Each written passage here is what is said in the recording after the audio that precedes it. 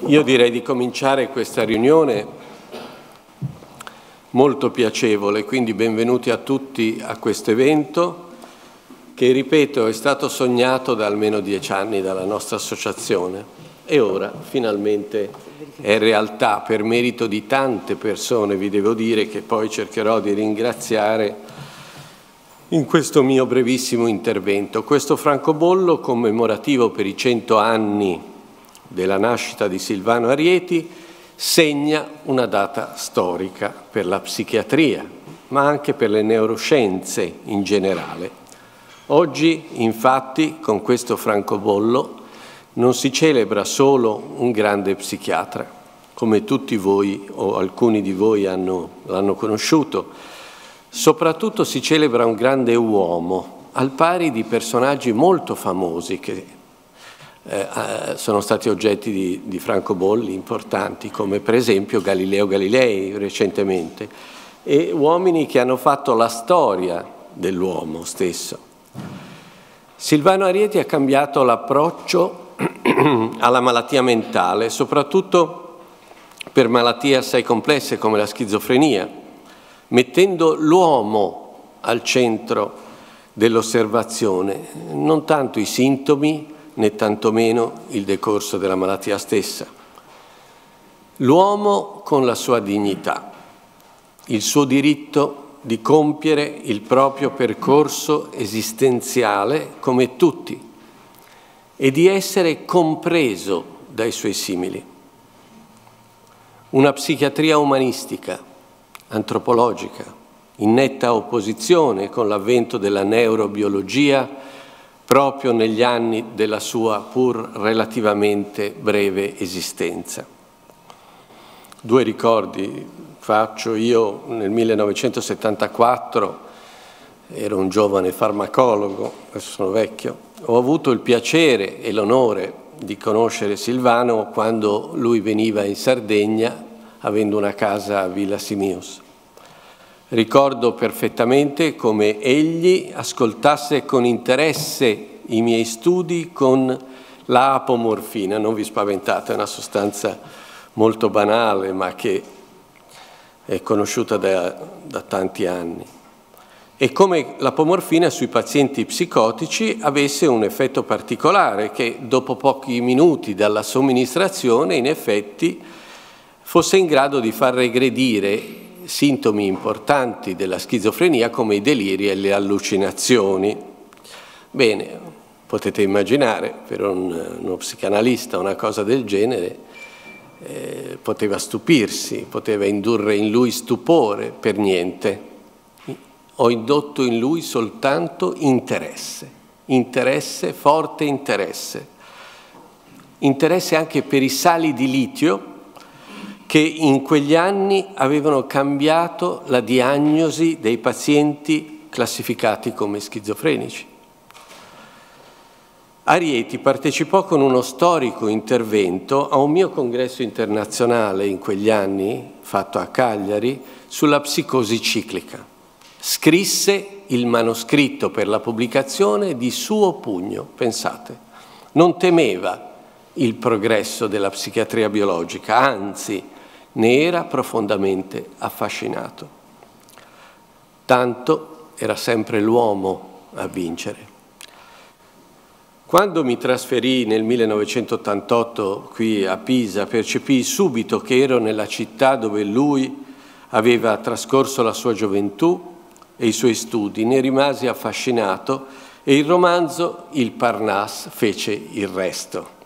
Conobbi ben presto Rita Bruschi, che era già da tempo sulle orme di Arieti e impegnata a ricordarne la grande figura, e fondammo il 7 aprile del 2001 l'associazione a suo nome e poi è stato un susseguirsi di eventi mirati ancora a sentir parlare di lui e a vivere nel suo ricordo. Questo francobollo oggi suggella questo ricordo per noi e spero anche per voi. Grazie dell'attenzione.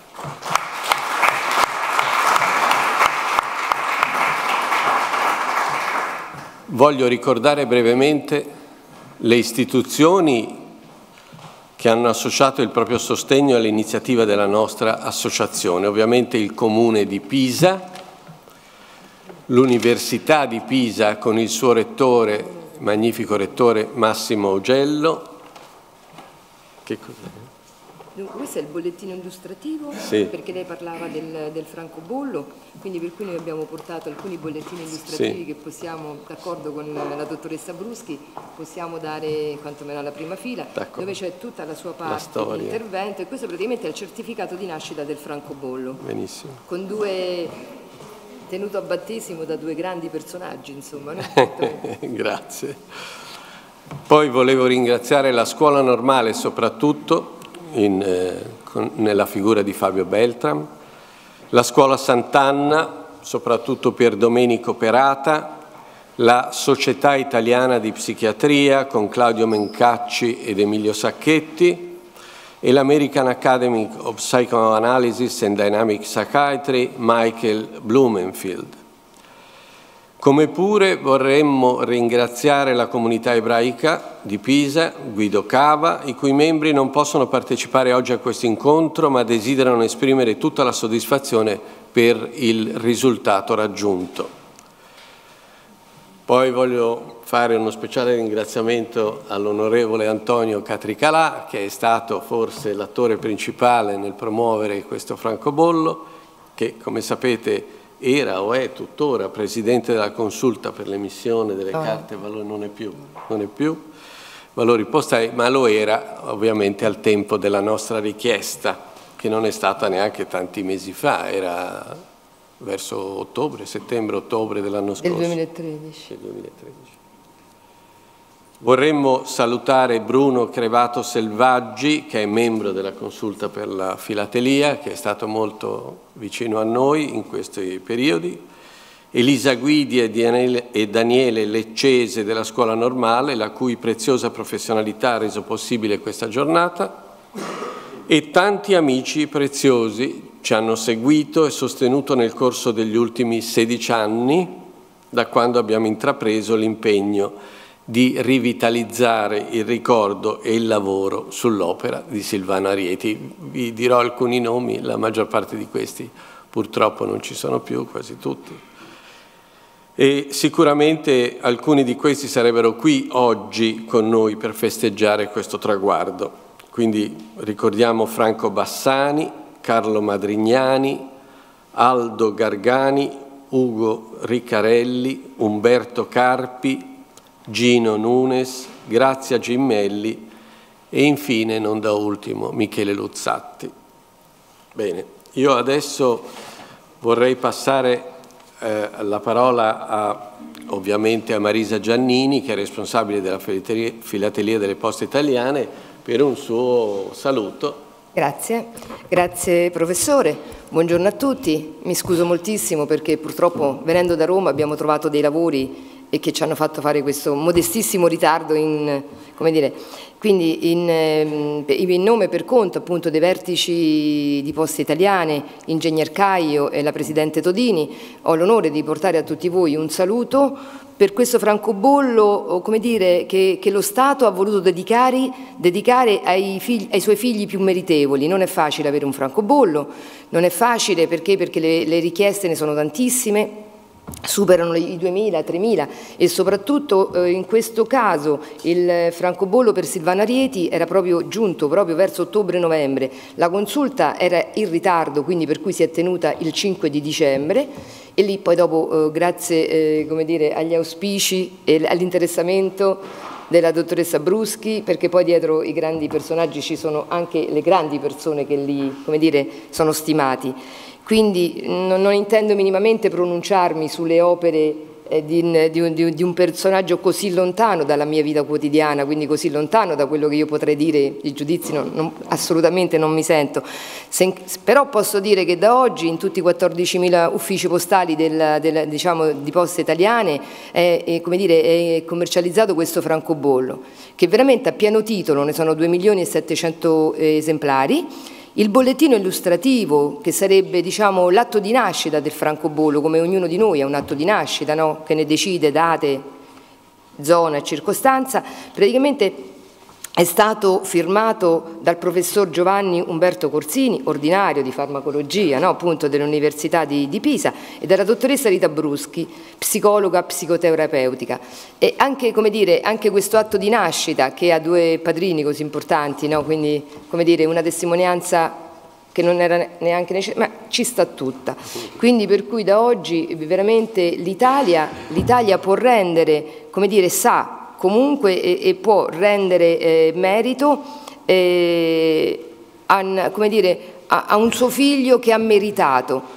Perché non è semplice, non è facile avere un francobollo, è, è molto difficile. E quindi c'è una grande selezione. E poi riguarda tutta una parte politica, diciamo, dove il Ministro è anche Presidente della Consulta, in questo caso, siccome era stata una materia delegata dal ministro Zanonato, era Catricalà eh, che aveva diciamo, le deleghe sulla, sulla filateria, come adesso praticamente il sottosegretario Giacomelli che alle deleghe sarebbe stato presente oggi qua insieme a noi, tant'è che ci siamo visti in settimana proprio pronti per essere qua e purtroppo evidentemente qualcosa non è andata proprio dritta e non c'è. Quindi per cui sono io che ringrazio e, e come dire, eh, chiunque volesse appunto un ricordo, c'è anche il servizio qua di annullo, no? proprio per portare a casa il ricordo di quella che è stata la giornata odierna, quindi auguro un, bu un buon proseguimento di giornata e ringrazio per essere stata invitata. Grazie dottoressa. Molto gentile, molto chiara è stata. Grazie. Allora passo la parola a Ranieri del Torto, Presidente del Consiglio Comunale di Pisa. Prego.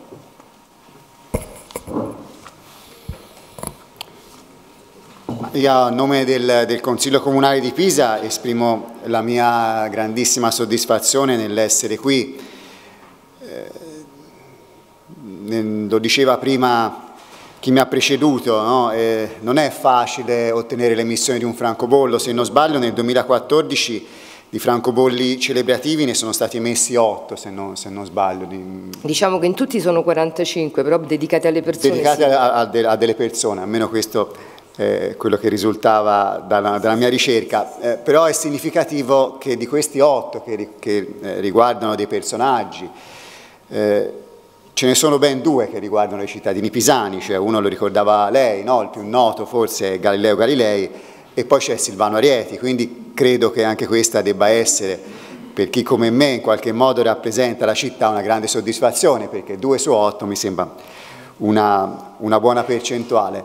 E credo che sia significativo no? che al, al, più, al, più, noto, no? Galileo Galilei, si affianca una figura che è più vicina a noi nel tempo, come quella di Silvana Rieti, eh, che però in qualche modo eh, va, va, riscoperta, va, va coltivata, eh, perché eh, diciamo che non ha quei, quei caratteri di così diffusa notorietà, pur essendo un personaggio straordinario come studioso, ma non soltanto come studioso della psiche, però anche ecco, come una figura, eh, direi, eh, a, a, tutto tondo, no? eh, un personaggio che in qualche modo si è caratterizzato per una vita passata eh, negli studi, passata eh, no, nel, nella, nella, cura delle persone, però in qualche modo con molteplici, molteplici interessi.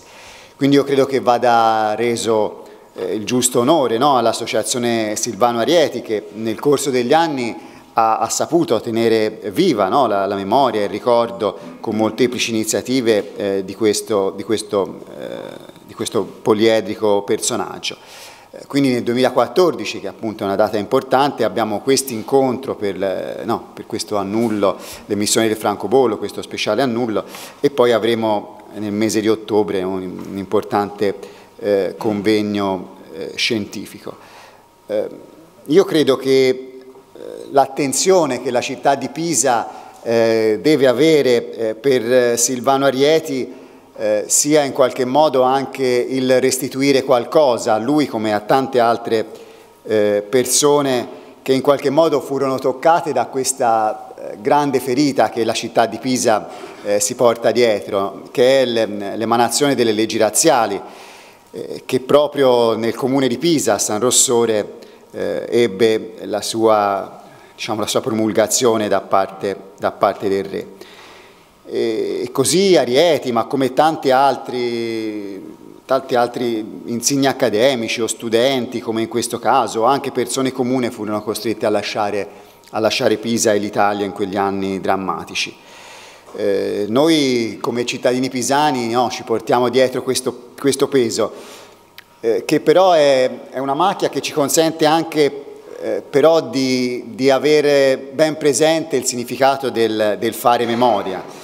Eh, fare memoria che consente di acquisire una, una, maggiore consapevolezza di tutto quello che è avvenuto in quegli anni, dei drammi che sono avvenuti in quegli anni e che tra l'altro eh, in qualche modo bene sono sintetizzati anche eh, nel, romanzo, nel romanzo Il Parnasse che ricorda un altro episodio drammatico avvenuto nella nostra città eh, in quegli anni. Noi in qualche modo eh, quindi sentiamo come, come città di Pisa eh, di restituire qualcosa ricordandolo eh, oggi come in tante altre iniziative. Io ho detto che eh, in un certo senso oggi è una tappa di un percorso. Pisa eh, ha già dedicato eh, una, una, strada a Silvano Arieti qualche anno fa, è stata apposta una targa in via Sant'Andrea alla, sua casa eh, natale, quindi in qualche modo eh, la, la, mh, il ricordo di oggi si inserisce in un percorso già avviato.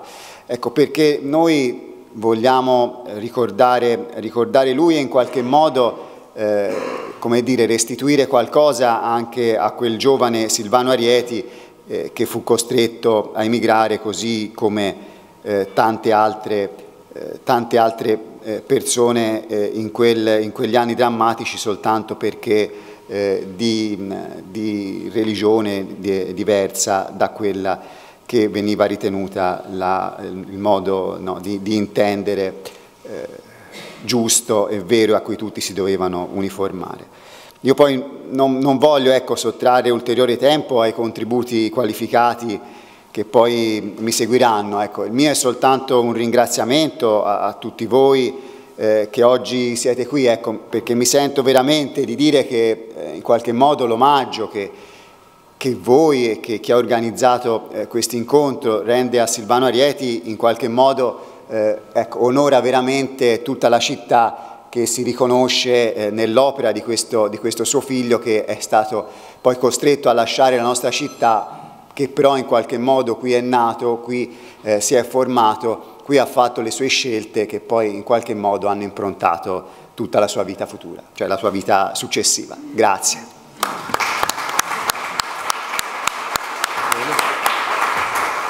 Bene, ringraziamo anche Ranieri del Torto e io inizierei, se eh, siete d'accordo, sugli interventi del, della giornata. Quindi inviterei Adolfo Pazzagli, può venire qui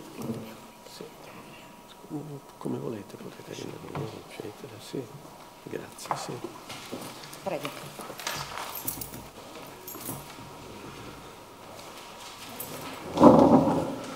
E il titolo, eh, professore emerito di psicologia clinica dell'Università di Firenze, professor Bazzagli. E, il titolo della sua comunicazione è Silvana Arieti, un collega, un maestro, un amico. Bene, buongiorno. Eh, sono qui eh, per meriti di età, diciamo, in quanto avendo eh, solo 20 anni meno di Silvano sono stato chiamato fra gli psichiatri in servizio a ricordare i miei rapporti con lui e volevo ringraziare naturalmente la dottoressa Rita Bruschi e Umberto Corsini per questo invito che come tutto ciò che allude all'età ha sempre un contenuto ambivalente, da un lato fa piacere e dall'altro fa sentire un pochino verso, diciamo, nella parte discendente della curva della vita. Eh, io ricorderò qualche cosa, ho scritto delle tracce ma non vi annoierò con la lettura, ma qualche cosa dei miei incontri con le opere prima e con la persona poi di Silvano Arieti. Infatti io ho incontrato l'opera di Silvano Arieti durante la scuola di specializzazione che allora era in malattie nervose e mentali e direi che interpretazione della schizofrenia prima e poi l'American Handbook of Psychiatry che usciva in quegli anni hanno costituito non solo dei testi di riferimento, ma un po' anche delle bandiere per noi specializzandi in una piccola minoranza che aveva desiderio di occuparsi di una psichiatria dinamica no? e quindi eravamo un po' in opposizione con i sacri testi e questo ci dava appunto mh, l'idea che al di là dell'oceano, dalla parte dei vincitori, si parlasse di una psichiatria così da parte di un italiano ci dava una forza per eh, reggere così a certi attacchi più descrittivamente eh, sintomatici che avevamo, no? occupiamoci dei sintomi e della loro biologia meno della persona. E quindi devo gratitudine in questo senso indiretta a, a Silvano Arieti proprio per questo sostegno. Sostegno che si accentuò negli anni 60 quando ci furono le giornate eh, di psicoterapia, cioè eh, quando a Milano quello che poi sarebbe diventato psicoterapia e scienze umane, cominciò a fare delle riunioni, le giornate milanesi di psicoterapia, alle quali eh, Silvano fu invitato, fece due relazioni e me lo ricordo perché appunto eh, intanto ascoltandolo io ammirai molto la capacità che aveva di parlare in modo semplice, ricordo anche che cominciò scusandosi, non so se ricordo abbastanza l'italiano, ma era in realtà un po' un vezzo perché parlava in modo molto preciso no? e, e, quindi eh, descriveva eh, casi clinici difficili, misteriosi in fondo, come quelli della schizofrenia ma altra psicopatologia, e teorizzava su di essi in modo molto semplice e lineare. Quando poi l'ho incontrato mi ha spiegato la grande fatica che aveva fatto, perché arrivando mh, negli Stati Uniti, dopo aver studiato in Italia, a Pisa, eh, aveva cominciato a scrivere lavori che lui diceva molto contorti. Spesso noi abbiamo un po' l'abitudine e un po' anche la il significato difensivo di scrivere cose difficili per nascondere la non chiarezza del pensiero. E allora mi diceva Silvano, vedi, sono arrivato qui e ho scritto un lavoro e mi, e dicevano, ma e non ho capito cosa volevi dire? E io lo spiegavo a parole e mi dicevano, ecco, allora scrivilo così, che è, se ci pensate bene, un grande insegnamento rispetto a certe eh, discorsi pseudoscientifici medici, no? per cui si dice che uno entra in uno studio avendo il mal di testa e esce avendo la sindrome cefalalgica o cose analoghe, insomma, no? cioè, quando, ecco, questa era una caratteristica che Silvano certamente non aveva, perché diceva no, dovete fare, bisogna scrivere come volevi dire, spiegati. Ecco, e dopo quando ti sei spiegato, ora scrivilo così, che mi è sembrato grande, un grande insegnamento. O poi, dopo averlo incontrato a Milano, quindi prima come autore, poi come persona ma come relatore, invece anni, negli anni 70 abbiamo avuto dei rapporti eh, personali eh, significativi. Veniva eh, da New York, eh, ricordo che eh, per esempio usava voli che atterravano in Jugoslavia, faceva dei viaggi un po' contorti, insomma, eh, forse costavano meno, non so. E, e, se, e prima di partire per la Sardegna, Cagliari e Villa Simius si fermava a Firenze, aveva dei cugini a Sesto Fiorentino, che io mi ricordi, eh, mi pare, ecco. E, si ricordava di me e allora è rimasto. Fra l'altro rimase molto colpito perché io, pieno di ammirazione, ero appena stato, diventato professore incaricato di psichiatria, non avevo fondi e gli pagai l'albergo. Io non gli dissi nulla ma gli fu riferito e rimase molto colpito dell'importanza perché gli sembrava impossibile. Questo è un altro tratto, no? Era un uomo importante ma si sentiva una persona normale, Dice, ma come, questo mi paga l'albergo, perché mi fai questo? Ecco. E, da lì cominciò a fare dei seminari annuali nella scuola di, di, specializzazione in psichiatria che io avevo cominciato a dirigere e naturalmente cominciammo con l'interpretazione della schizofrenia, poi con depressioni lievi e, gra e gravi, le fobie, i processi creativi. Eh, in quegli anni eh, facemmo, io direi amicizia, nel senso che ci vedevamo volentieri, eh, ci telefonavamo, è stata forse la prima persona quando una telefonata intercontinentale era eh, un evento, ci telefonavamo eh, eh, e c'è New York al telefono. Insomma. E per esempio ricordo Posso venire quest'estate dopo il rapimento Moro? Come sono le condizioni? C'è da viaggiare in Italia, per esempio, no? Oppure mi chiese consiglio se andare o no a un convegno eh, a Tokyo, eh, organizzato eh, il sesso in Oriente e in Occidente. Eh, io lo sconsigliai, ma eh, eh, ero stato, vi dirò, invitato anch'io, ma figuriamoci se mi potevo rivendere come espresso, esperto di sesso in Oriente e in Occidente. Onestamente proprio no, ma neanche lui, ecco.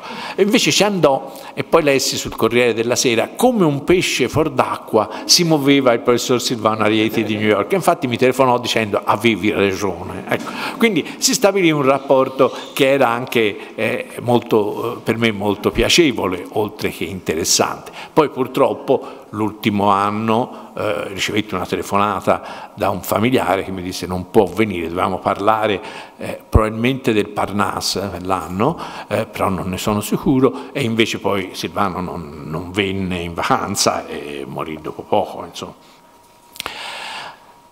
Come psichiatra appunto eh, Silvano mi ha detto che appunto, lui aveva studiato a Pisa, aveva apprezzato Ayala, per la correttezza, la precisione con cui insegnava, ma diceva era soprattutto un neurologo e credo che, che avesse ragione. Mentre le sue prime fondanti esperienze furono fatte al New York State Psychiatric Hospital, dove c'era una sorta di mega edificio con tantissimi ricoverati che sembravano non avere più una vita mentale, diceva, erano, stavano lì Certo c'era per esempio la terrazza dove andavano gli schizofrenici, ma tutta con la gabbia intorno perché non si buttassero di sotto, quindi c'era una vita ripetitiva, istituzionalizzata al massimo e quindi sembravano mentalmente quasi morti, difetto da malattia o conseguenza dell'istituzione. Questo Silvano non se lo chiese, ma cominciò a osservare le cose e vide che quando erano di turno certi infermieri o infermiere con cui il singolo paziente aveva un rapporto speciale, questo si rianimava. Ecco, cioè cominciava a, nonostante il persistere della sua patologia, però mostrava un contatto umano e allora vide in questo eh, difetto in fondo una sorta di difesa per incapacità, non un autismo, come dire, primariamente patologico, ma conseguenza di un ritiro difensivo. Eh? E cominciò a offrirsi come soggetto di relazione e quindi a occuparsi di psicoterapia. E questo è stato un grande insegnamento per lui e di riflesso per noi, questo vedere un complesso di ragioni personali, storiche, sociali, attuali, eh, come confluire in una psichiatria che allora non può che diventare psicodinamica nello studio dei diversi fattori e nella evidenziazione di questi attraverso una riattivazione in una relazione presente. E questo è stato qualcosa che per Silvano era assolutamente eh, imprescindibile, cioè offrire, a, oddio, no, offrire alle persone eh, la possibilità di rianimarsi rivivendo in qualcosa che non è la macchina del tempo, ma è viceversa una relazione attuale in cui i fattori storici, i fattori personali, le difese, le angosce vengono a riemergere. E di questo devo dire, tanto che sono qui a parlare narcisisticamente dei miei ricordi, abbiamo discusso molto perché, e questo ho appreso molte cose, parlavamo di casi clinici, sia passeggiando per New York, perché fra l'altro eh, Silvano ci invitò, eh, mia moglie eh, ed io, per un periodo a New York, abbiamo eh, ci ha invitato a cena a casa, insomma, ma, e soprattutto passeggiavamo molto discutendo di casi clinici, sia a New York che a Firenze. Eh, aveva questo atteggiamento molto attento, vigile, ma anche un pochino chiuso. Infatti ricordo una volta si arrabbiò perché era un so se venerdì o sabato e si passeggiava mh, mm, e c'era una stazione della metropolitana, la gente usciva e Chiedevano a me, dov'è il negozio? Eh, ma come? Tu no, non sai neanche l'inglese, sei qui da, da, una settimana e io vivo da anni e chiedono a te, eh sì, dico, perché io li guardo in faccia, non sto chiuso e a me le strette come te. Scusate l'aspetto poco accademico, ma usai questa espressione che vi ripeto per dire il tipo di eh, confidenza ecco, che eh, eh condividevamo. E questo eh, era una cosa su cui volevo richiamarvi l'attenzione, perché nel mio titolo c'è la parola maestro. Vedete, eh, se siamo stati in confidenza, entro certi limiti, amici eh, anche, eh, però io ho imparato molto da questo. Io ero appunto agli inizi, lui era un uomo molto affermato internazionalmente, però si metteva sempre in gioco, cioè mi aiutava a tirare fuori cose dei miei pazienti e prendeva molto sul serio anche le obiezioni che io facevo a lui, abbiamo anche abbastanza baruffato, poi vi dirò, ma faceva quello che se voi avete presente eh, quel bel libro di George Steiner, La lezione dei maestri, no? in fondo descrive maestri che bloccano il sapere dell'allievo cercando esibizionisticamente di allagarlo con le proprie nozioni, maestri che si lasciano distruggere dalle obiezioni degli allievi e invece maestri che prendendo sul serio il materiale portato dall'allievo ne favoriscono la crescita, lo sviluppo nell'allievo ma in loro stessi. Ecco, io credo che questo modo di discutere di casi clinici eh, sia stato eh, molto presente in queste chiacchierate sul Lungarno a Firenze o in Central Park a New York fra Silvano Arieti e me. E io in questo ero allievo che però anche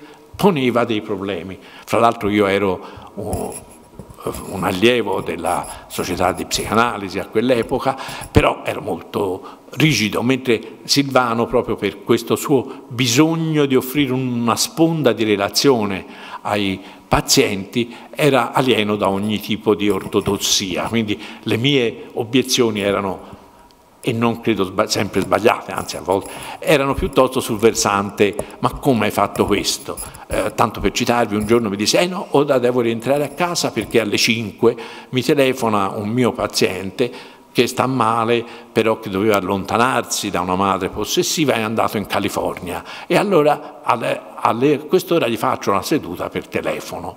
Oggi tutti se ne parla, no? eh, dell'analisi condensata, dell'analisi per eh, Skype, che a quel tempo non c'era, ma io rimasi francamente scandalizzato. Ecco, però poi eh, tuttora non sarei capace, credo, odio il telefono anche per ragioni di famiglia, pensate che mio nonno diceva che non lo voleva perché era una scatolina di bachelite che ogni tanto faceva drin drin e tutti correvano e quindi non... ecco, io sono rimasto un po' di questo stile, però eh, Silvano mi spiegava invece la necessità che questa persona aveva per controllare certi suoi problemi di avere contatto con lui nell'ora della sua seduta. Ecco, questo per dirvi alcuni aspetti che riguardano un modo di fare psichiatria che non è appunto lo studio della patologia dello psichico, ci sono le percezioni, c'è la patologia delle percezioni, c'è il pensiero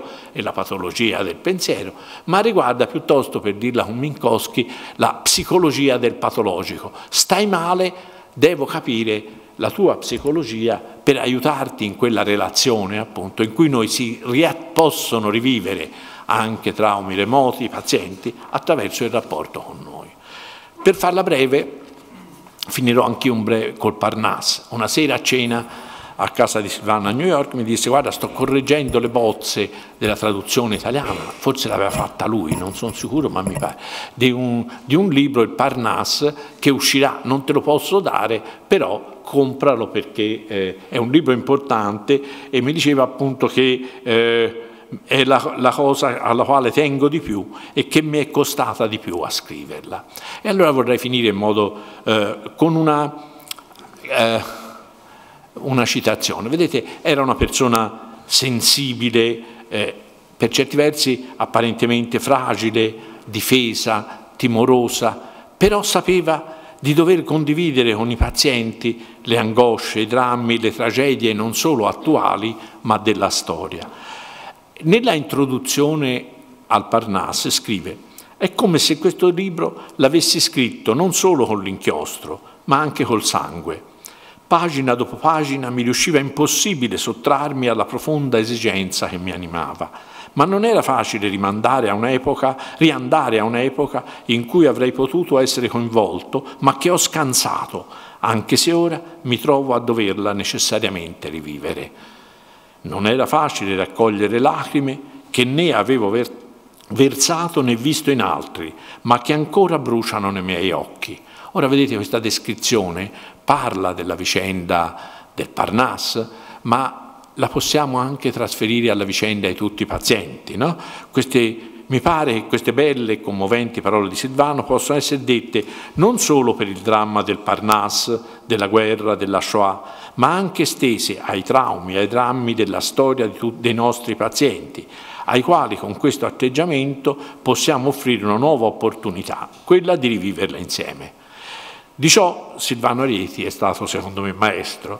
Come ha scritto di recente un collega amico David Mernagi, Giuseppe Parlo Rockets e Parnasse è contemporaneamente un maestro ed un paziente in un romanzo psicanalitico. Ecco, a me sembra che oltre che il Parnasse tutti i nostri pazienti siano contemporaneamente, come dire, eh, maestri e pazienti di un romanzo che riviviamo insieme. Mi rendo conto che con questo sono un po' enfatico e in questo credo tradisco eh, lo stile di Silvano Arieti, ma dovete avere pazienza perché io sono io e lui è stato lui, nonostante il nostro buon rapporto di stima, di amicizia e nei miei, mio nei suoi confronti il rapporto con un maestro di un tipo di psichiatria che altrimenti non avrei incontrato. Grazie della pazienza.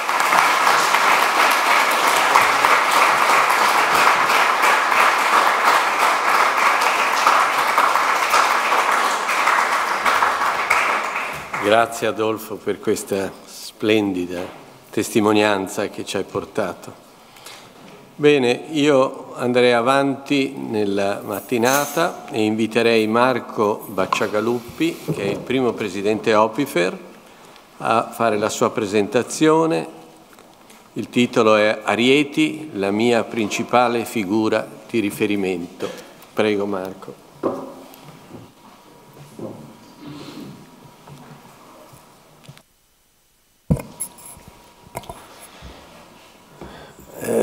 Sono molto onorato di poter parlare a questa eh, riunione ehm, eh, di Eriti che è stato eh, anzitutto mio maestro, no? per usare le distinzioni che ha appena fatto Pazzagli, eh, eh, Areti è stato soprattutto mio maestro.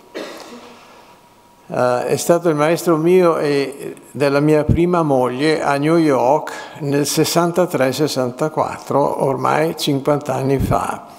Però l'avevo già conosciuto nel 62, come anche Pazzagli, a Milano, uh, nella prima riunione organizzata da Pier Francesco Galli, dove Arieti per la prima volta tornava a parlare in Italia, per la prima volta uh, dopo la guerra, e dove ha incontrato Benedetti, altro grande specialista della schizofrenia che pure lavorava all'estero eh, in Svizzera e lì si sono incontrati e io ho conosciuto entrambi. Poi nel 63-64 ho trascorso con mia moglie un anno a New York come suoi allievi, abbiamo eh, seguito le sue lezioni al New York Medical College.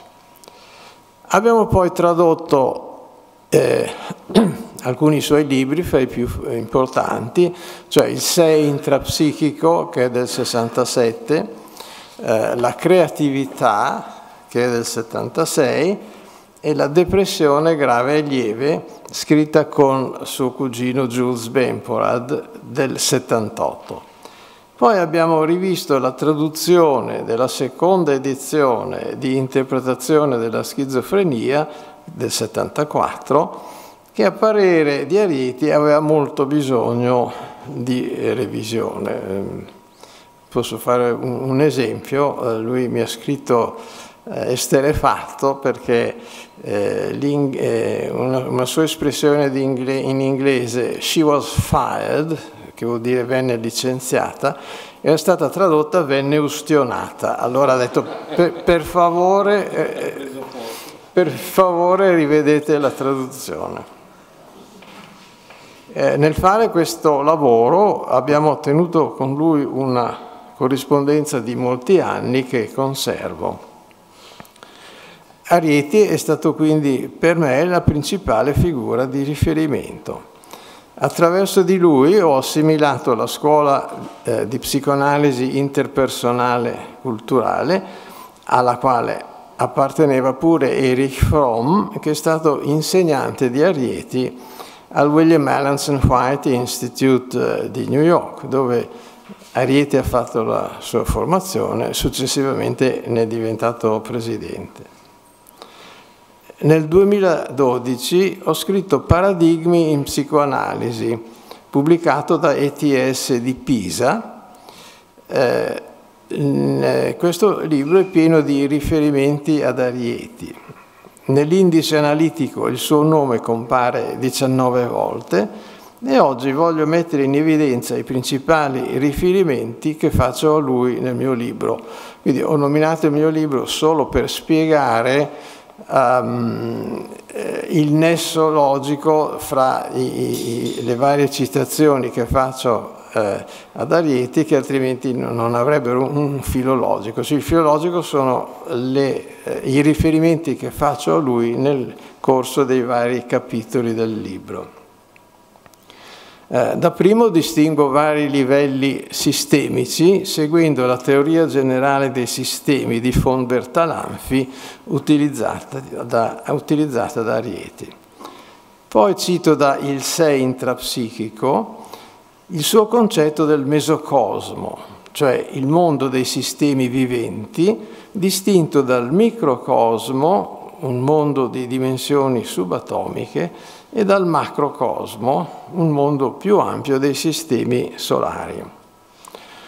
Successivamente cito da La depressione grave e lieve un esempio di concretizzazione del concetto, eh, meccanismo in comune ai sogni e alla schizofrenia, cioè un paziente aveva l'idea delirante accompagnata da allucinazioni gustative, che la moglie gli avvelenasse il cibo per non rendersi conto della sua sensazione, non rendersi conto a livello concettuale, della sua sensazione che la moglie gli stava avvelenando la vita.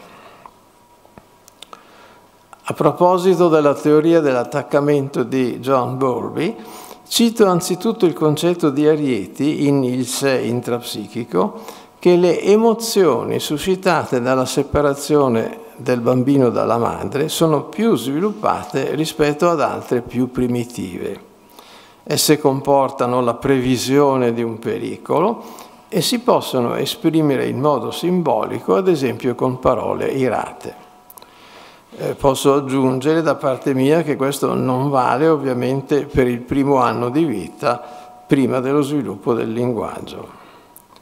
Poi riporto dalla seconda edizione di interpretazione della schizofrenia l'osservazione che l'esperienza emozionale correttiva che si fa in terapia, concetto di Franz Alexander del 1946, comporta anche importanti cambiamenti cognitivi. Trattando della ricerca infantile, infant research, Ricordo ciò che dice Arieti, sempre in interpretazione della schizofrenia, del famoso caso di Helen Keller. Eh, era una bambina che è rimasta sorda e cieca in, in seguito ad una malattia.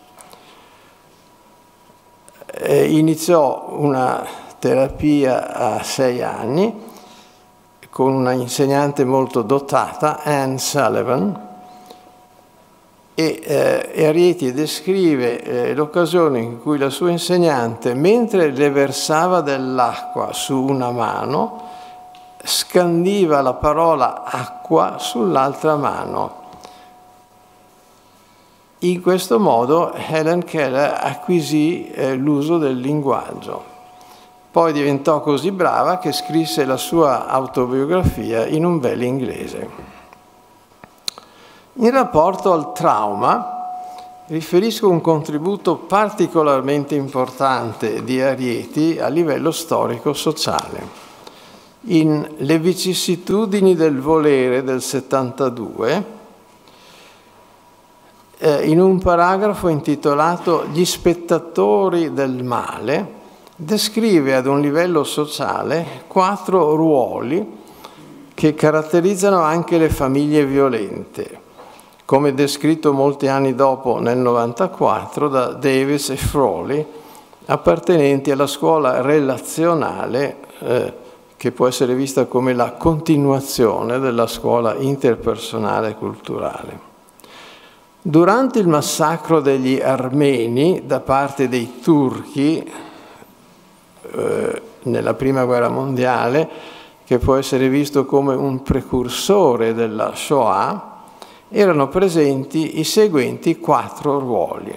La vittima, il malfattore, chi si opponeva al male, di gran lunga i meno numerosi, e lo spettatore maligno, di gran lunga i più numerosi, cioè chi assisteva allo spettacolo e non aiutava la vittima. E con la sua passività eh, non esprimeva l'aggressività direttamente, ma ovviamente la esprimeva indirettamente delegandola al malfattore. Come un altro esempio di questi ruoli, eh, Arieti riferisce un episodio che ebbe luogo a New York qualche anno prima che lui scrivesse il libro. Una giovane donna venne assalita e pugnalata per strada 35 persone sentirono le sue urla, nessuno andò ad aiutarla, non chiamarono nemmeno la polizia. Ecco, questo è un esempio di eh, spettatore maligno. Eh, mia moglie e io eravamo a New York in quei giorni e leggemmo della cosa sul giornale. Poi parlo del Parnasse, il romanzo che Arieti scrive scrisse sul caso di Pardo Roques, l'ebreo di Pisa, cui una fobia dei cani impedì di sottrarsi ai tedeschi che lo uccisero. Io commento che per sfuggire ad un predatore illusorio, eh, il cane, Pardo finì per soccombere ad un predatore reale, i tedeschi.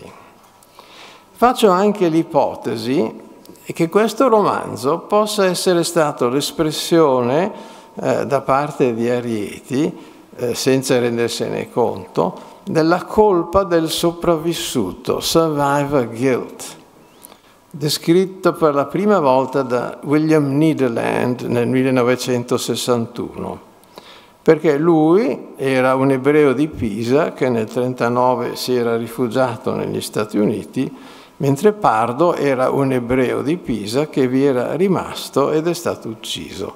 Eh, quindi faccio l'ipotesi che, senza rendersi conto nello scrivere questo romanzo, fra le altre cose, eh, Arieti fosse animato dalla colpa del sopravvissuto che è, è, è, è, un sintomo, è stato visto successivamente dopo la descrizione di Netherland come un sintomo di PTSD, Post Traumatic Stress Syndrome. Nel trattare del modello relazionale, è contrapposto al modello pulsionale di Freud, riporto anzitutto la citazione di Herbert Reed, eh, uno storico dell'arte, che fa Arieti in creatività, secondo la quale nella transizione dal paleolitico al neolitico, invece del naturalismo vitale della pittura delle caverne, troviamo una astrazione mortalmente monotona, queste sono le parole di Reed, nelle decorazioni geometriche dei vasi del neolitico. Eh, però Arieti stesso ritiene che l'astrazione sia stato un passo avanti. Eh, per Reed è un passo indietro, per eh, Arieti è un passo avanti.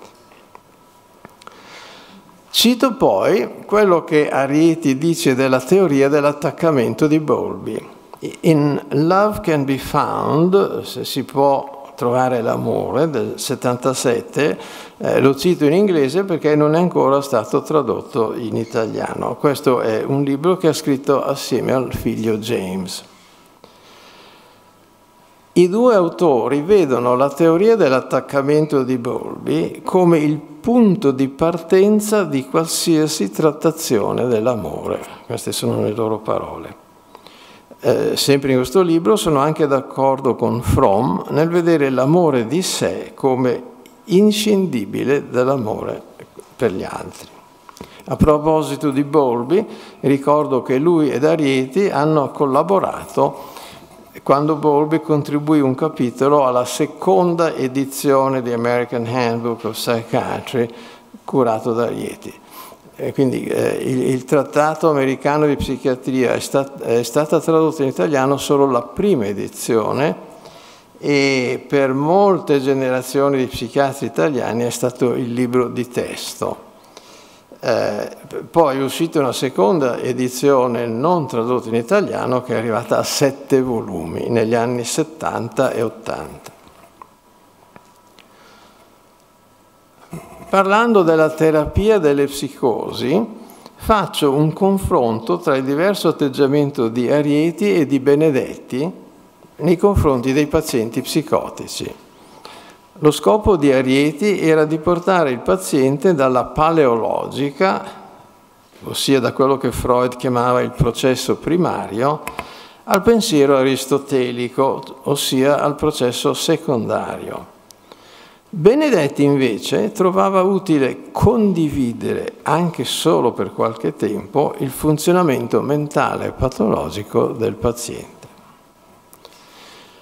Poi contrappongo il concetto che Rieti aveva appreso dalla From Reichmann al William Alanson White, ossia che il fattore terapeutico essenziale è il rapporto umano. Questo è contrapposto alla terapia cognitivo-comportamentale che purtroppo sta ormai prevalendo nella terapia delle psicosi. Un collega mi ha detto l'altro giorno che eh, è proprio prescritta nelle uh, pubblicazioni ufficiali sulla terapia delle psicosi. A livello socioculturale eh, ricordo poi un lavoro di Arieti del 59 in cui nota che in una società industrializzata la famiglia deve continuare a soddisfare i bisogni affettivi dell'individuo Tuttavia molte sue attività sono state delegate ad altre istituzioni. Una madre dirige più spesso l'ostilità sui suoi figli e allo stesso tempo il padre perde di autorità. Questa costellazione, eh, secondo Rieti, può portare ad una predisposizione alla schizofrenia nei figli.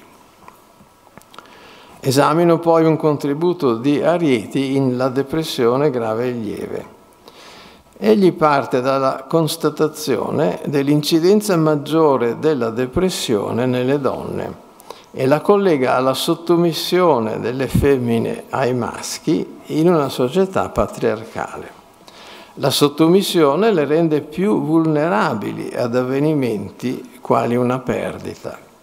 Se esse cercano di riguadagnare potere attraverso l'attrattiva sessuale, allora in menopausa possono andare incontro alla melanconia involutiva.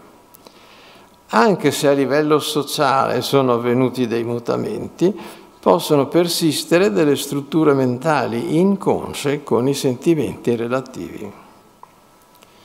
Infine, Arieti fa uso delle categorie descritte da Riesman in La folla solitaria. Eh, Riesman era un allievo di, di Fromm. Nota che vi è stata una diminuzione nella frequenza dei disturbi depressivi gravi e collega questo tipo di depressione self-blaming, autoaccusatoria, con la personalità autodiretta di Riesman. Nella società moderna, e tipicamente negli Stati Uniti, tende a prevalere, a prevalere la personalità eterodiretta, che si può accompagnare al tipo di depressione claiming, rivendicativa, meno grave dell'altra. Quando in ultimo tratto della preistoria parlo delle vedute evoluzionistiche di Arieti, da lui acquisite negli anni 50 con la lettura dei classici della etologia di Lawrence e Tinbergen, che Bowlby stava leggendo contemporaneamente dall'altro lato dell'Atlantico. Il culmine dell'indagine evoluzionistica di Arieti sui meccanismi cognitivi e forse il culmine di tutto il suo pensiero è un paragrafo di Il sé intrapsichico intitolato L'origine biologica della conoscenza e la realtà mesocosmica. Egli qui arriva alla stessa conclusione di Lorenz che le categorie kantiane di spazio e tempo sono a priori per quanto riguarda l'individuo, ossia sono innate, mentre sono a posteriori per quanto riguarda la specie che le ha acquisite nel corso dell'evoluzione. Se le categorie sono state selezionate è a causa del loro valore di sopravvivenza, è così che funziona l'evoluzione. Ciò significa che corrispondono alla struttura del mesocosmo, ossia il mondo noumenico di Kant in sé inconoscibile si può conoscere indirettamente attraverso questo ragionamento evoluzionistico. Arieti è arrivato a questo concetto indipendentemente da Lorenz, le cui vedute sono state pubblicate solo dopo la morte nel 92 perché il manoscritto russo dove le aveva scritte durante la prigionia in Russia era andato apparentemente smarrito. Dopo la morte di Lorenz è stato ritrovato in un armadio dietro ad altre cose e l'hanno pubblicato. Comunque è uscito nel 92 mentre il libro di Arieti è del 67. Ricordo anche da Il sé intrapsichico la definizione che Arieti dà della paleologica, questo è un suo concetto fondamentale, in comune alle società primitive e dai bambini fino a 3-4 anni e che si ritrova negli stati psicopatologici. L'identificazione attraverso i predicati anziché attraverso i soggetti. Nella paleologica avviene una confusione tra somiglianza e identità la paleologica porta alla formazione di classi primarie, dice Arieti. Nel suo libro Arieti fa l'esempio di un soggetto che alla domanda qual è la capitale della Francia risponde Londra. Ossia si è fermato alla classe primaria capitali europee Londra e Parigi hanno in comune il predicato di essere capitali europee e sono intercambiabili per il soggetto paleologico. La somiglianza attraverso un predicato diventa un'identità. Eh, a questo punto posso esprimere anche una mia eh, riserva relativa su Arieti. A differenza di altre due mie figure di riferimento, Fromm e Bowlby, Arieti mostrava un certo atteggiamento cauto e conciliante, non era un polemico.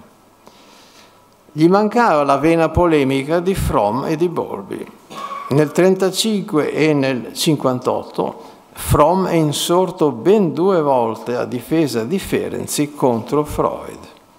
Nell'84 Bowlby ha parlato del disastroso voltafaccia di Freud nel 1897 quando ha negato la realtà dei traumi delle sue pazienti, ovviamente per negare la realtà dei propri traumi. Mi sembra che questa vena polemica utile eh, mancasse invece ad Arieti. Per concludere, queste mie citazioni mostrano l'ampiezza degli interessi scientifici di Arieti che andavano dall'evoluzionismo al livello sociale, alla schizofrenia e che lo rendono tuttora attuale. Grazie del vostro ascolto.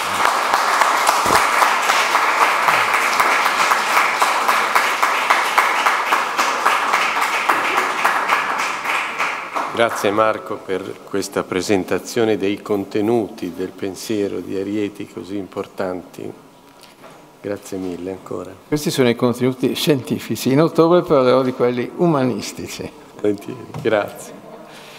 Eh, andiamo avanti. Invito Corrado Rossi, direttore emerito del DSM della USL 5 di Pisa, e la sua mh, esperienza, eh, presentazione l'esperienza dell'appartamento Silvana Rieti.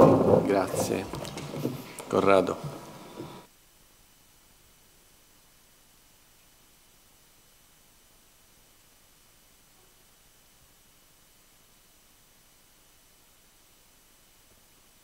Buongiorno. Eh, dopo questi eh, interventi di peso che mi hanno preceduto e che sono stati anche una testimonianza di un rapporto diretto con eh, Silvano Arieti, io che appartengo a una generazione di psichiatri un po' più giovane, ma non troppo giovane, ahimè, eh, non ho conosciuto direttamente eh, Silvano Arieti, ma posso anch'io affermare, come è stato per i colleghi che mi hanno preceduto, che è stato sicuramente uno dei punti di riferimento eh, importanti, addirittura nella scelta eh, della specializzazione e poi anche nella conduzione, pur attraverso eh, una sintesi poi con, altre, con altri riferimenti, altre esperienze negli anni bollenti diciamo così, della riforma eh, psichiatrica in Italia e della costruzione dei servizi eh, di salute mentale di comunità.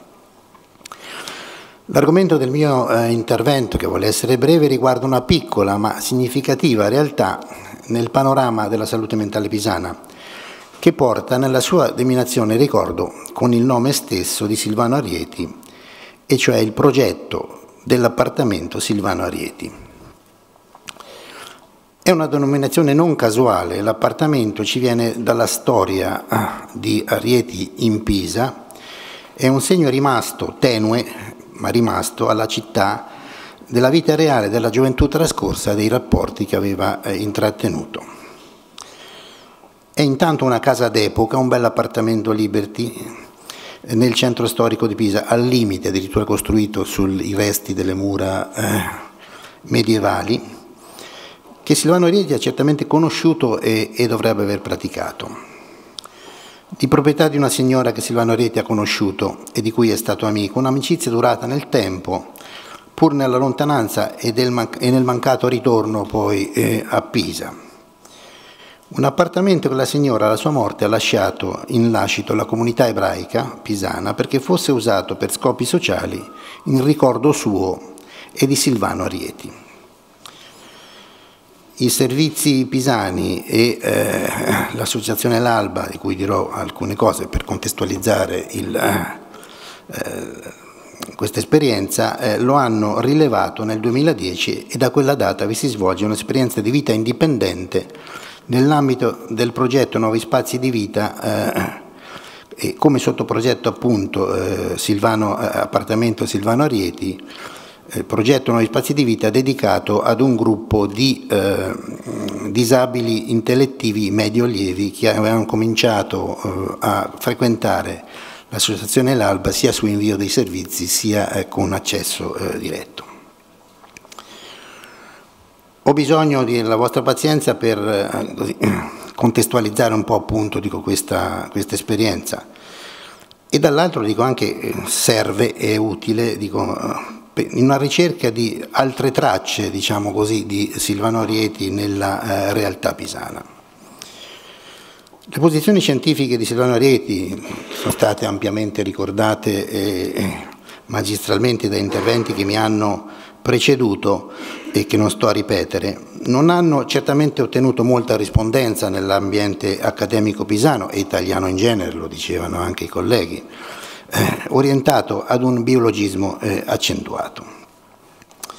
Viceversa, le sue opere, in particolare il manuale di psichiatria edito da Boringhieri nel 1969, è stato un punto di riferimento epocale per una nuova generazione di psichiatri o che stavano affacciandosi eh, alla specializzazione, che pure crescevano necessariamente nelle scuole eh, psichiatriche italiane, ma impegnati magari anche nei movimenti studenteschi e politici dell'epoca, con un'attenzione alle varie eh, cose che si muovevano nella società italiana, attenti agli orientamenti e alle esperienze di Basaglia di psichiatria democratica, ma anche alla ricerca di basi teoriche ed operative nuove e diverse rispetto eh, a quelle tradizionali e anche a quelle, diciamo così, eh, più di impronta sociale.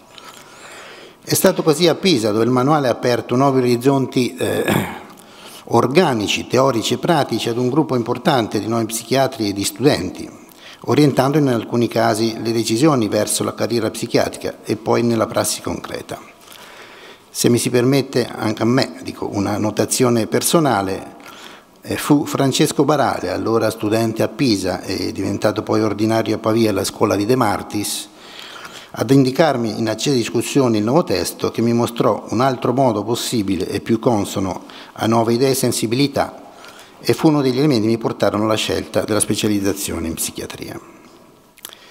Manuale di psichiatria di Silvano Arieti da un lato, versus il Trattato italiano in psichiatria di Bini e Bazzi verso l'imputazione francamente sociale dell'istruzione negata di Franco Basaglia, soltanto per schematizzare, sono stati i, i sacri testi che hanno animato e sono so, stati sotto questo, questo, confronto, questo dibattito che ha avuto risvolti eh, teorici e pratici molto, molto seri. Elementi appunto di un confronto scientifico e operativo anche sul campo nella costruzione dei centri di igiene mentale territoriali dal, della riforma Mariotti del 68 intanto, anche a Pisa, diretti in una prima fase dalla clinica psichiatrica universitaria, poi dal 1975 con una nuova direzione attivata dall'amministrazione provinciale, anche con un impegno crescente dell'ospedale psichiatrico di Volterra nel territorio. E dopo il 78 nella costruzione dei servizi della legge 180 e poi 833 della riforma sanitaria e dal 1980 all'interno delle unità sanitarie locali.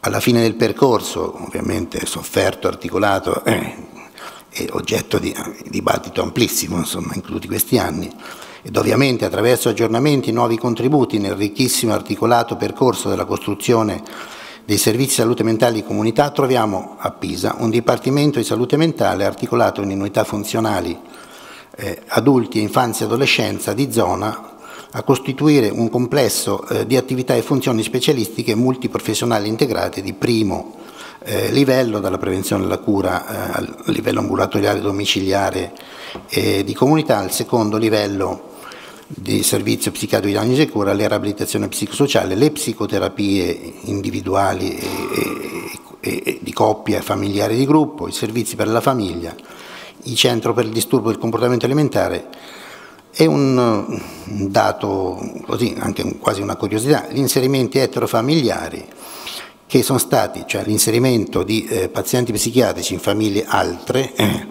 che accolgono eh, appunto dico, al loro interno eh, il, il, paziente, che sono stati a Pisa e a Lucca una realizzazione di riferimento nazionale e che cito perché costituiscono uno dei capitoli eh, del manuale di eh, Silvano Arieti attorno a un'esperienza poco eh, conosciuta, poco eh, anche neanche citata dico, nei testi italiani, ma che viceversa lì trovava una sua, eh, una, una sua collocazione. Nel manuale, per arrivare a noi, non si parla espressamente di autoaiuto, non era ancora nato, non si era affermato, ma a mio avviso sta come naturale sviluppo dell'impostazione di Arieti della sua attenzione alla persona. E da Pisa, eh, dal 2000, si è costituita l'associazione L'Alba, Dopo un'esperienza nata eh, fortemente dico, nella clinica psichiatrica con formazione di gruppi di autoaiuto, l'uscita dico, nel territorio, l'iniziativa e il radicamento appunto nel territorio dei gruppi, la proposta ai servizi della figura del facilitatore sociale, cioè di eh, un portatore di disagio o ex portatore di disagio, che diventa attraverso anche un processo di formazione un agente di aiuto eh, nei confronti di altri eh, in un rapporto alla pari che è molto fecondo e che sviluppa eh, diciamo così, tutta la tematica del self-help senza eh, starla qui a riportare, non è eh, la sede, non, non c'è neanche il tempo. In un rapporto tra pari con il Dipartimento di Salute Mentale della Regione Toscana, la costruzione di una rete locale con centinaia di soci e regionale degli utenti i progetti condivisi e finanziati dalla Regione e dalla uh, Unità Sanitaria Locale, sperimentati e verificati in continuo, in progress, quello sui facilitatori, i laboratori, li cito soltanto, il circolo con la ristorazione, oggi il bagno al mare e il nuovo ristorante, soltanto per eh, parlare dei più. Eh, ne hanno fatto una realtà eh, molto, molto radicata, molto forte, molto importante, dico di collaterale, autonoma rispetto ai servizi e che eh, eh costituisce una, uh, un'esperienza eh, molto seguita anche al di fuori della nostra realtà. Tra i progetti dal 2008 eh, nasce Nuovi Spazi di Vita appunto per soggetti, dicevo prima, con disabilità intellettiva medio-lieve che avevano cominciato a frequentare l'attività dell'alba sia autonomamente sia inviati dai servizi e che a regime eh, dei progetti sono arrivati a circa 50 persone. Da questo è nata l'idea e poi l'attuazione anche in, eh, con l'occasione dell'offerta della comunità ebraica dell'appartamento per eh, quattro giovani donne eh, su richiesta eh, delle interessate delle famiglie nell'ottica del dopo di noi ma durante noi ciascuna con un progetto individualizzato che prevede ruoli e momenti condivisi per la tenuta e la vita dell'appartamento ed un impegno esterno di tipo lavorativo supportato eh, o di attività nei laboratori, oltre che attività di tempo libero. Con il supporto da prima più intensivo, poi progressivamente meno, di un supervisore interno con disponibilità all'urgenza, il collegamento e il sostegno alla rete associativa, forme di sostegno individuale ed occorrendo di approfondimento psicologico, la supervisione periodica del gruppo, delle ragazze e delle loro eh, dinamiche interne e la supervisione del gruppo dei familiari circa il loro vissuto passato e presente nella relazione con le figlie ed il sostegno alle dinamiche del distacco. L'appartamento è in una zona centrale della città, come dicevo, al limite della zona pedonale, vicino ai servizi, supermercato, posta, stazione dei treni, degli autobus, è stato ristrutturato e ammobiliato con il contributo delle famiglie di un gruppo volontario di soci dell'Associazione L'Alba, è partito nel giugno 2010. Le ragazze e le famiglie contribuiscono direttamente alle spese di affitto, di uso e di vita dell'appartamento, un po' per limiti di finanziamento regionale, ma anche per ridurre dinamiche assistenzialistiche. Ad oggi nove donne hanno avviato esperienze e, e compiuto esperienze nell'appartamento, due hanno deciso di concludere una è rientrata in famiglia con una nuova consapevolezza, ruoli ridefiniti ed è diventata una risorsa di aiuto a fronte di nuove condizioni di bisogno che sono determinate in famiglia. Una ha deciso di continuare l'esperienza di indipendenza in un appartamento proprio vicino alla famiglia. Eh, per una l'inserimento non è riuscito, due hanno precocemente interrotto, quattro attualmente, di cui due nel gruppo iniziale, del gruppo iniziale, lo stanno tuttora continuando le ultime tre inserite hanno problematiche prevalenti eh, di carattere psicologico. Mi avvio alla conclusione, permettetemi eh, eh, di citarvi eh, alcuni eh, passaggi di una uh, relazione appunto redatta dalla psicologa che, era, che, è stata la coordinatrice dico, attiva del progetto L'intera esperienza ha avuto eh, delle, cure, eh, delle, curve di alti e bassi, le diversità caratteriali, momenti positivi alternati a momenti di crisi sono stati costantemente monitorati dalla fitta rete creata ad hoc che ha collegato operatori dell'associazione L'Alba, la psicologa coordinatrice della, eh, del progetto Nuovi Spazi di Vita, la psicologa eh, coordinatrice dell'appartamento, i servizi dell'USL 5, l'assistente sociale e la famiglia occasione di forti stimoli affettivi, di espressione delle proprie opinioni, gusti e preferenze, soprattutto di confronto con situazioni che richiedono scelte personali autonome, è stata rinforzata la capacità di prendere decisioni e la capacità di svolgere attività di propria scelta. hanno sperimentato una vita indipendente con la consapevolezza che non è facile e può essere rischiosa, ma è un rischio eh, ben più elevato rispetto ad una eh, vita di dipendenza. Le due ragazze che hanno concluso l'esperienza hanno portato con sé stabili miglioramenti eh, circa le capacità pratico-manuali, hanno sviluppato le capacità di autoregolamentarsi e di stabilire le proprie scelte in base ai bisogni familiari, hanno raggiunto un discreto grado di consapevolezza centrato su attività vere e concrete, hanno riconosciuto i propri limiti e le potenzialità gettando solide basi per una più piena matura, eh, maturità affettiva e relazionale. L'esperienza di residenza indipendente sta favorendo lo sviluppo psicosociale, promuovendo lo sviluppo consapevole dell'identità, autonomia e delle competenze correlate alle proprie potenzialità, un miglioramento dell'area affettiva, maturando una maggiore consapevolezza e coscienza anche degli aspetti fisici della sessualità. Sono convinto che Silvano Arieti, per concludere, condiverebbe finalità, contenuti e probabilmente anche metodi di questa esperienza e che nel complesso eh, gli piacerebbe abbastanza. Grazie dell'attenzione.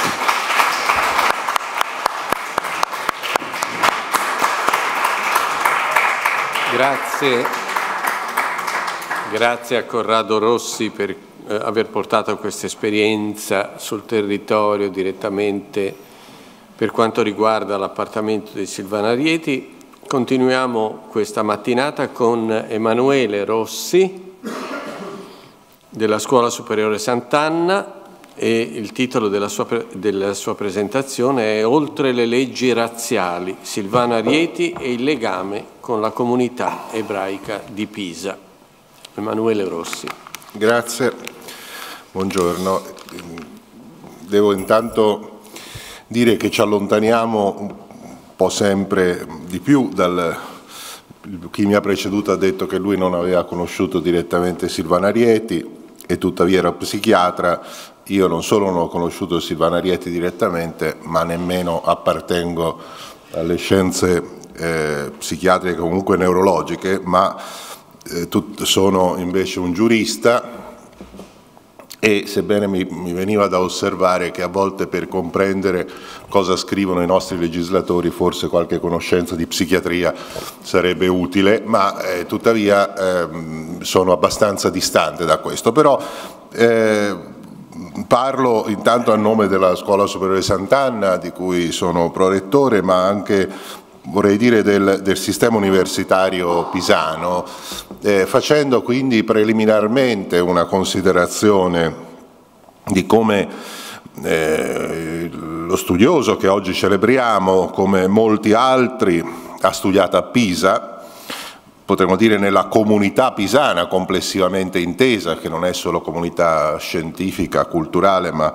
diciamo, comunità di vita. In questa comunità si è formato e poi ha dispensato il suo sapere nel mondo.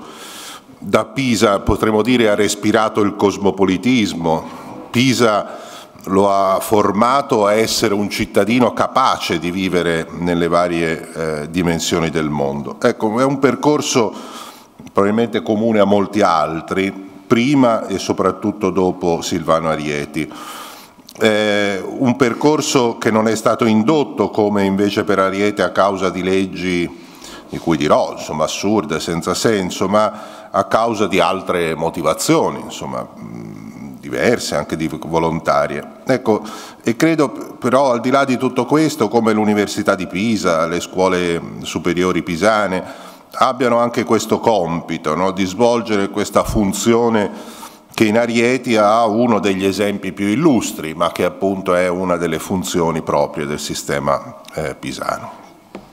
Ecco, mh, mm, vengo a dire alcune cose sul tema che appunto mi è stato assegnato e su cui ho cercato di eh, raccogliere più notizie, informazioni possibili, devo dire anche con alcune scoperte personali, insomma, par, par, abbastanza interessanti. Eh, Dunque noi sappiamo che eh, Rieti nasce nel 1914, appunto cent'anni fa, nel 1931, eh, nell'anno accademico 31-32, si eh, iscrive all'Università di Pisa, eh, un'università che era già frequentata da altri eh, ebrei, soprattutto stranieri, e che anzi eh, vide proprio in quegli anni, nell'anno successivo, in particolare nel 32-33, ben 1850 studenti stranieri in Italia, eh, per lo più proprio studenti in medicina e dall'anno successivo anche studenti provenienti dalla Germania.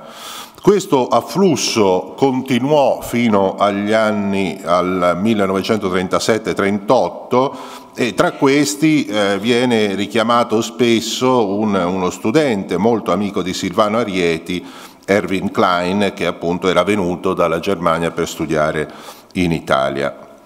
Eh, quindi questo a dimostrazione insomma, di come poi le leggi razziali che sono intervenute insomma, nel 1938, una serie di provvedimenti che hanno avuto il primo eh, provvedimento il 5 settembre del 1938, ecco, eh, siano arrivate in una, in una fase in cui cioè, prima c'era stato diciamo, un ampio ecco, afflusso di, di, studenti anche da altri paesi ebrei che venivano a studiare in Italia.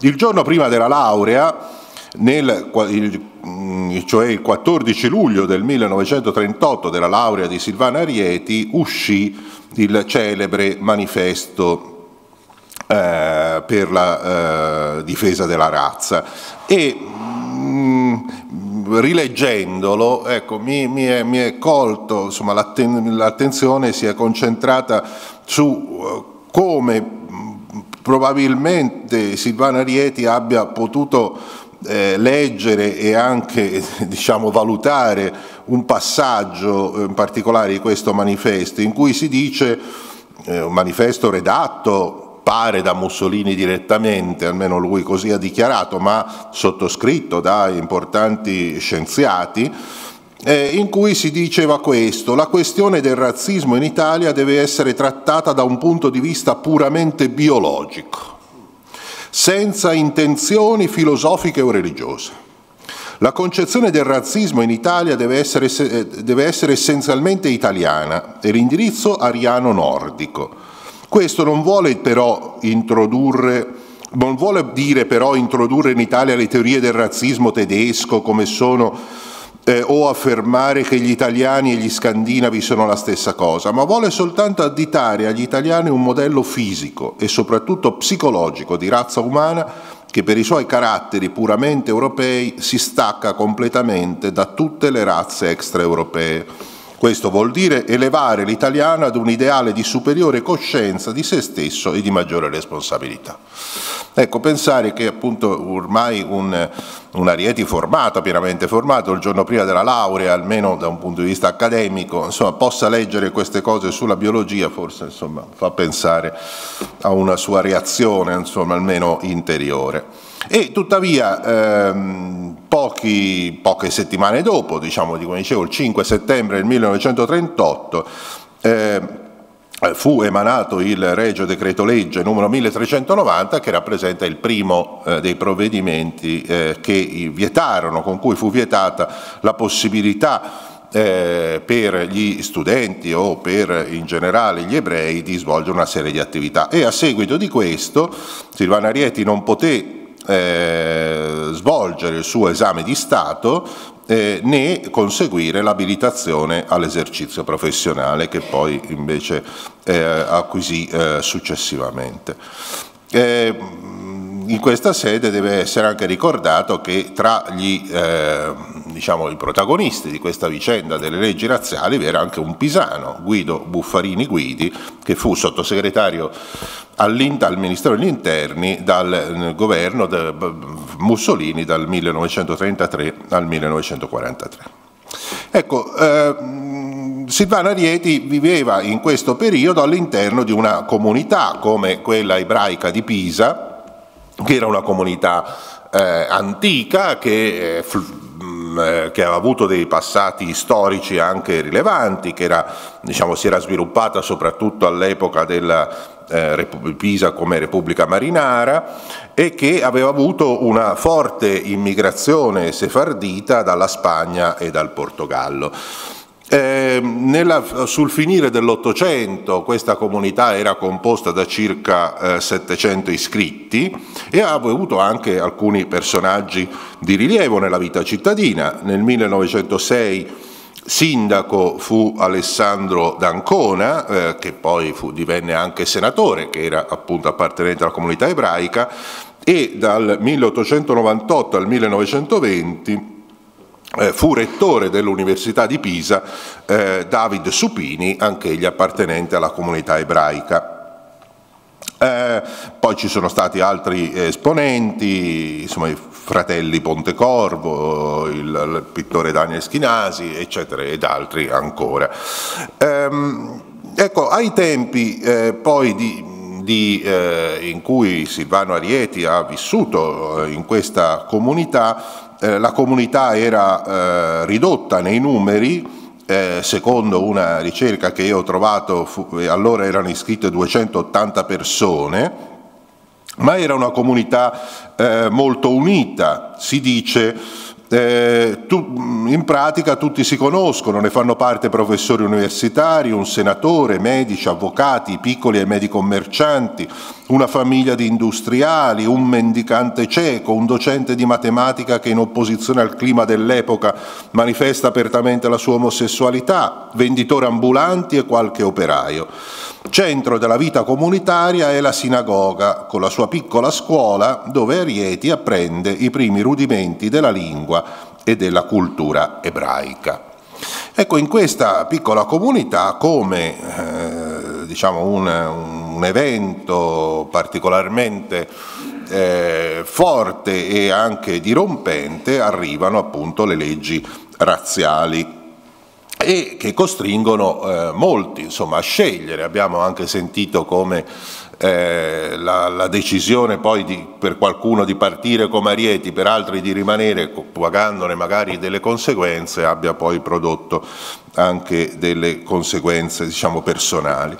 Eh, I genitori di Arieti non, eh, non erano intenzionati a partire, eh, pur appartenendo ad una fascia colta e agiata della popolazione, eh, volevano che a partire fosse il figlio, ma non avevano loro stessi dove andare e poi eh, avevano tutta la fatica, insomma, che è tipica insomma, di chi magari ha superato un certo, eh, una fase della vita di dover ricominciare una vita nuova da un'altra parte. E, ehm, però appunto si rese conto Silvana Rieti che per salvarsi bisognava andare lontano in America dove però era difficile entrare. Ehm, e la zia Yolanda alla quale poi eh, dedicò il libro Arieti insieme allo zio Giampaolo che per gli anni dell'elementare aveva accompagnato Arieti il primo giorno di scuola avevano trovato la via di farlo uscire, emigrare attraverso la Svizzera e eh, appunto lì, eh, partì, da lì eh, partì. Eh, ecco, sono andato a vedere così per curiosità quali altri, eh, alcuni degli altri, molti altri esponenti della comunità ebraica pisana e in generale italiana eh, sono dovuti partire a seguito di queste leggi, ebra, leggi razziali. E numerosi docenti sono stati espulsi dall'Università di Pisa, molti, devo dire la maggioranza, dalla facoltà di medicina, come ad esempio eh, Salomone Enrico Emilio Franco, che traccia questo eh, bel, significativo eh, ritratto insomma, della fatica anche di dover appunto eh, cambiare vita improvvisamente. Il tempo passa, scrive appunto Emilio Franco, ed è necessario che trovi un posto rimunerato in modo tale che permetta di far vivere le due persone che vivono con me, mia sorella e mia cugina, già insegnanti nelle scuole medie, per la stessa discriminazione rimangono prive del posto che hanno ricoperto fino ad ora.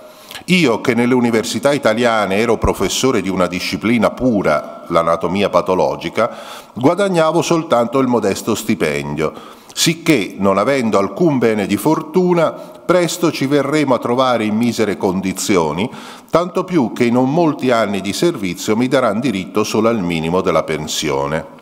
Si impone perciò che al più presto abbia in una qualche parte del mondo un ufficio retribuito e quindi si lasciò l'Università di Pisa e si eh, trasferì, emigrò a Gerusalemme dove disse farsi una vita nuova in un paese nuovo all'età di 57 anni non è facile né agevole né sorridente, ma la necessità è legge suprema e non discutibile. Affronterò ogni sacrificio e ogni dura fatica con l'indispensabile coraggio.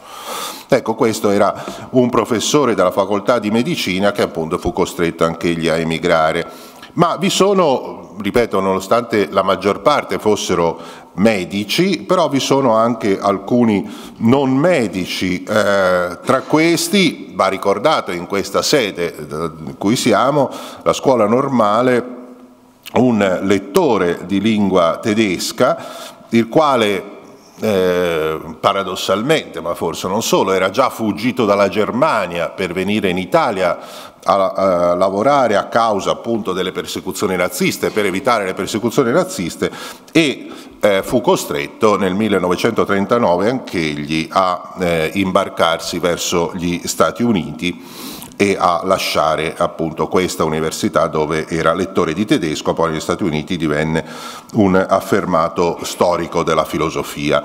O così come ad esempio un altro eh, dell'Università di Pisa di quel periodo, un giurista che conosco un po' più da vicino, che era eh, Renzo Bolaffi, il quale peraltro non... Mh, fu una vicenda un po' più particolare perché egli fu sostanzialmente eh, bocciato a un concorso per professore ordinario esclusivamente per ragioni razziali, perché eh, secondo tutta la, la scienza, eh, la comunità scientifica egli avrebbe su, sicuramente meritato, eh, e allora egli prese diciamo, con sdegno questo e rifiutò da allora qualsiasi incarico all'Università di Pisa e divenne presidente dell'ente Carta e Cellulosa con cui insomma, si manteneva eh, da vivere.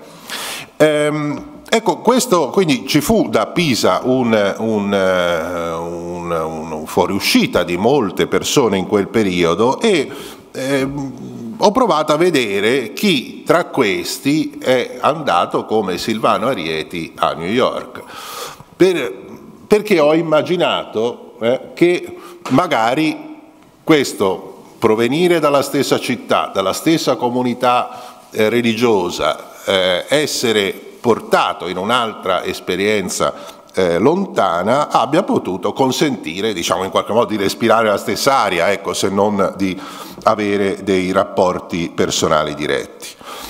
E eh, cito solo alcuni nomi che potrebbero avere avuto diciamo, questo, eh, questo, tipo di, di legame. Eh, Salvatore Edoardo Luria, che è stato un biologo e che è stato premio Nobel per la medicina nel 1969, che eh, anch'egli emigrò dal, dall'Italia, raggiunse New York dove raggiunse Enrico Fermi alla Columbia University e dove poi ebbe grazie a lui alcune, eh, poi la possibilità appunto di sviluppare le sue ricerche.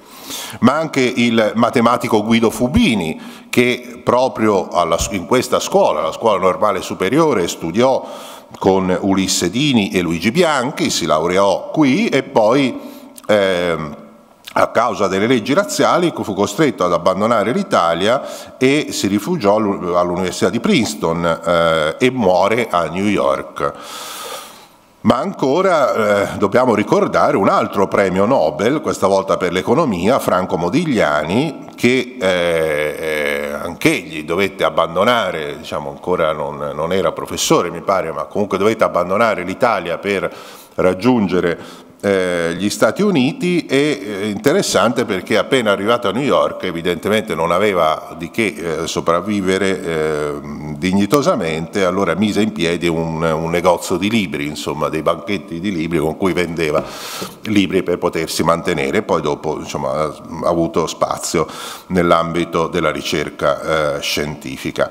E eh, quindi è probabile ecco, che di questi, di questi, personaggi, di questi e di altri personaggi ci sia stato una, un certo eh, un, qualche collegamento con Silvana Rieti.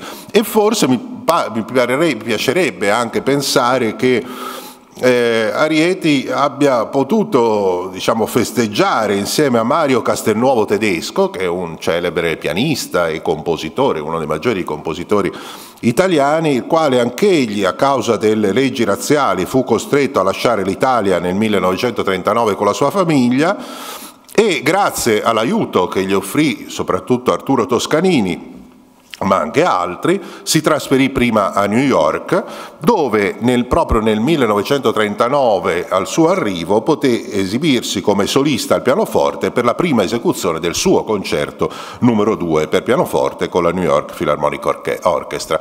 E appunto, non so, ma eh, sarebbe eh, bello pensare che Silvana Arieti abbia potuto partecipare anche a questo eh, concerto.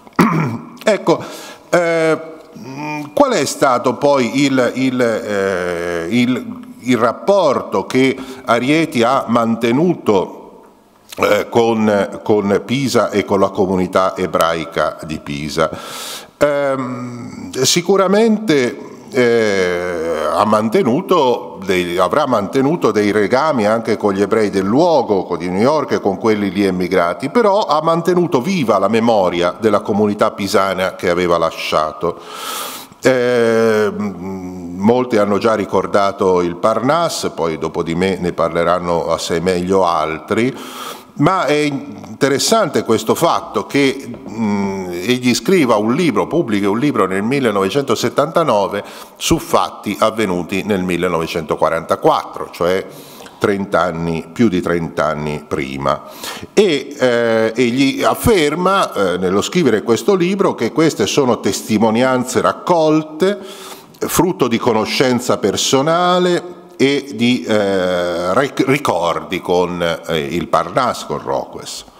Proprio mh, ci sono due espressioni del libro che mi hanno particolarmente colpito in questo senso quando dice a un certo punto ho accertato la verità della maggior parte dei fatti esposti, il che vuol dire che questo accertamento è durato per quasi 30 anni, in questi 30 anni egli ha continuato a verificare eh, la veridicità di quei fatti avvenuti 30 anni prima e ancora nei 30 anni e più trascorsi quelle parole ascoltate hanno risuonato nella mia mente.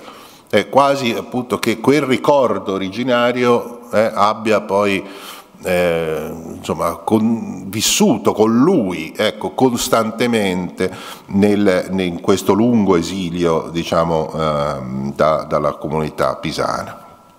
Eh, questo è tipico peraltro, eh, ho trovato, insomma, tipico di altri esponenti, ho trovato ad esempio la storia interessante di un, di un eh, professore eh, ebreo pisano che anch'egli fu costretto dalle eh, leggi razziali ad abbandonare l'Università di Pisa, eh, in particolare la clinica di ostetricia e ginecologia, Renzo Toaf e eh, che emigrò a eh, Gerusalemme dall'altra parte per così dire no, del, del, dei punti cardinali. Ma anche egli eh, che pur veniva da Livorno eh, non ha mai cessato una volta diciamo, abbandonata la, la, la, comunità, di pensare, alla, alla, di pensare, di essere vicino alle sue comunità religiose. Tant'è vero che egli ha scritto dopo molti anni un libro sulla nazione ebrea a Livorno e a Pisa. Eh, scrivendolo da Gerusalemme, insomma, dove era andato dopo molto tempo. Ecco, un percorso analogo, simile a quello che ha fatto, eh, mi pare, Arieti con il Parnasso. Dopo molto tempo si scrive un libro sull'esperienza pisana. Ecco, ma non è solo però dal Parnas che noi possiamo trarre l'idea, insomma, che il collegamento con la comunità ebraica sia rimasto in lui soltanto diciamo, un collegamento di, di, riflessione, di pensiero, appunto di questa eh, verifica dei fatti allora accaduti.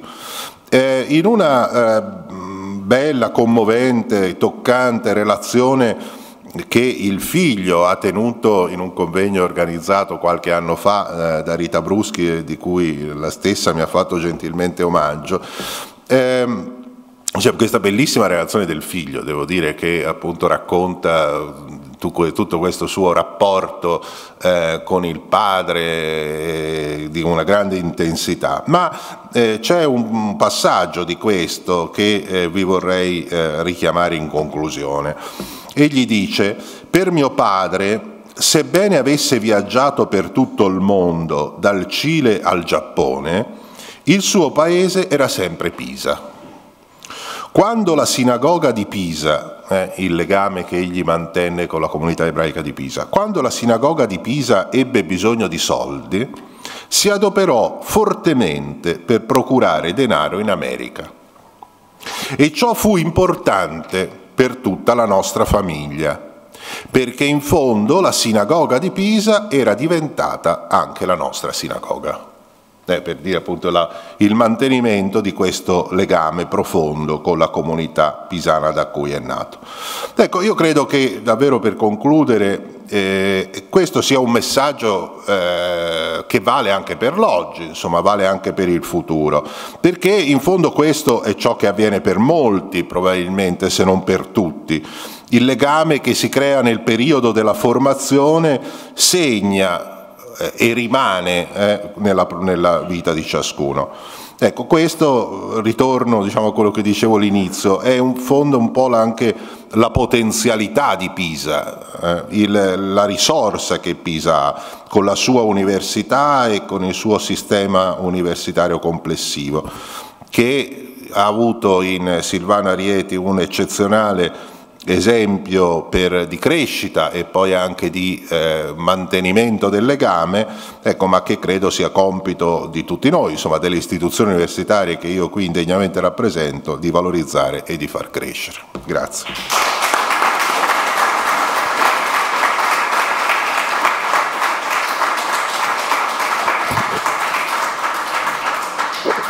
Grazie a Emanuele Rossi per queste sue eh, considerazioni storico-sociali che hanno, ci hanno fatto rivivere momenti importanti anche della vita stessa delle istituzioni pisane. Grazie ancora. Io passerei a Ilaria Pavan eh, della Scuola Normale Superiore. Ilaria Pavan ci parlerà del eh, ehm, il Parnas, Silvana Rieti e il Parnas. Buongiorno a tutti. E innanzitutto un ringraziamento agli organizzatori di questa iniziativa, in particolare al professor Corsini e a Rita Bruschi che hanno avuto fiducia nell'invitarmi pur essendo anch'io, come chi mi ha appena preceduto, completamente digiuna di questioni psichiatriche e psicanalitiche mi è stato affidato come compito quello di ricordare il legame e analizzare insomma, il rapporto tra Silvano Arieti e il Parnas. Eh, molti tra i relatori che eh, si sono succeduti fino a questo momento hanno già più volte citato il Parnas e, e ricordato la sua importanza, quindi perdonerete l'inevitabile sovrapposizione di alcune citazioni, di alcune argomentazioni rispetto a quello che avete già eh, in parte ascoltato. Ehm, il Parnass è scritto a soli due anni dalla scomparsa di Silvano Arieti nel 1981 appunto, quindi ne costituisce una delle sue ultime e per, forse anche proprio per questo aspetto più significative opere. La prima versione scritta eh, originale in inglese esce nel 1979 con il titolo The Parnass, A Scene from the Holocaust, il Parnasso una scena dall'olocausto e tradotta l'anno successivo eh, in italiano uscirà per Mondadori infatti eh, nel 1980. Eh, prima di tutto cosa significa Parnas? Eh, non, non, è detto che tutti lo abbiano eh, così chiaro in mente, è una parola ebraico-sefardita che significa capo, leader e designa quindi la guida non spirituale di una comunità eh, ebraica e il Parnassi in questione era appunto Giuseppe Pardo Roques, figura di grande spicco dell'ebraismo non solo toscano ma anche direi italiano della prima metà del Novecento, che fu appunto il presidente, la guida della congregazione israelitica pisana una prima volta ehm, dal 1907 al 1910 e poi dai primi anni venti sino alla sua tragica eh, scomparsa.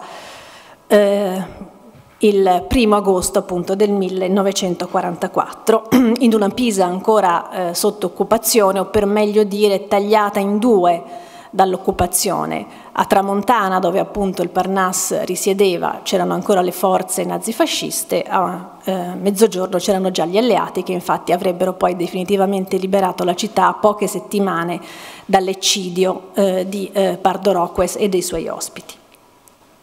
Il testo racconta eh, in maniera molto personale, eh, in maniera eh, romanzata, direi metastorica, ma su questo poi eh, torneremo, l'eccidio appunto perpetrato da un gruppo di nazisti eh, introdottisi nella mattina del 1 agosto 1944 nell'abitazione del palazzo di via Sant'Andrea di Pardo Roques e eh, eccidio che causò la morte oltre dello stesso Pardorocques dei suoi ospiti, altre 11 persone, 6 erano ospiti, eh, altri ebrei, rifugiatisi pisani e non pisani che avevano trovato accoglienza già da varie settimane nella casa di Pardorocques e poi furono uccisi anche 5 cristiani, se vogliamo fare questa conta in termini brutalmente religiosi, eh, che si trovavano alcuni di loro per puro caso all'interno dell'abitazione.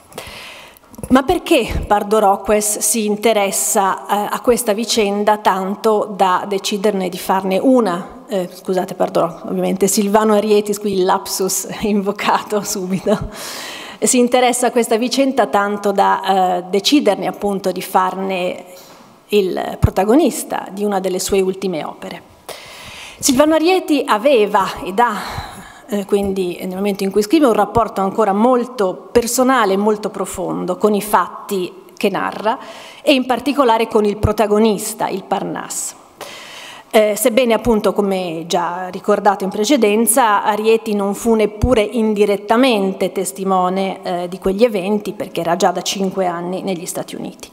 È dunque una vicenda che, eh, di cui Arieti viene a conoscenza solo a guerra conclusa.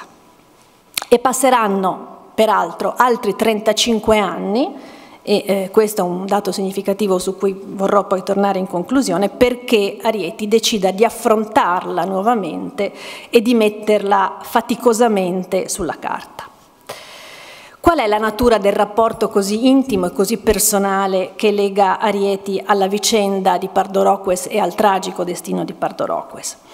Oltre al fatto che Silvano Arieti conosceva molto bene eh, frequentava la casa del Parnasse, stimava il Parnasse, persona di, di grande cultura, con cui aveva frequenti eh, incontri, Arieti riconobbe in Pardo Roques uno dei motivi, una delle motivazioni più forti che lo spinsero definitivamente verso la psichiatria e la psicanalisi. La scelta quindi definitiva, eh, convinta della sua carriera, la sua vocazione scientifica si lega, a quanto dice lo stesso Arieti, a questa, precisamente a questa vicenda.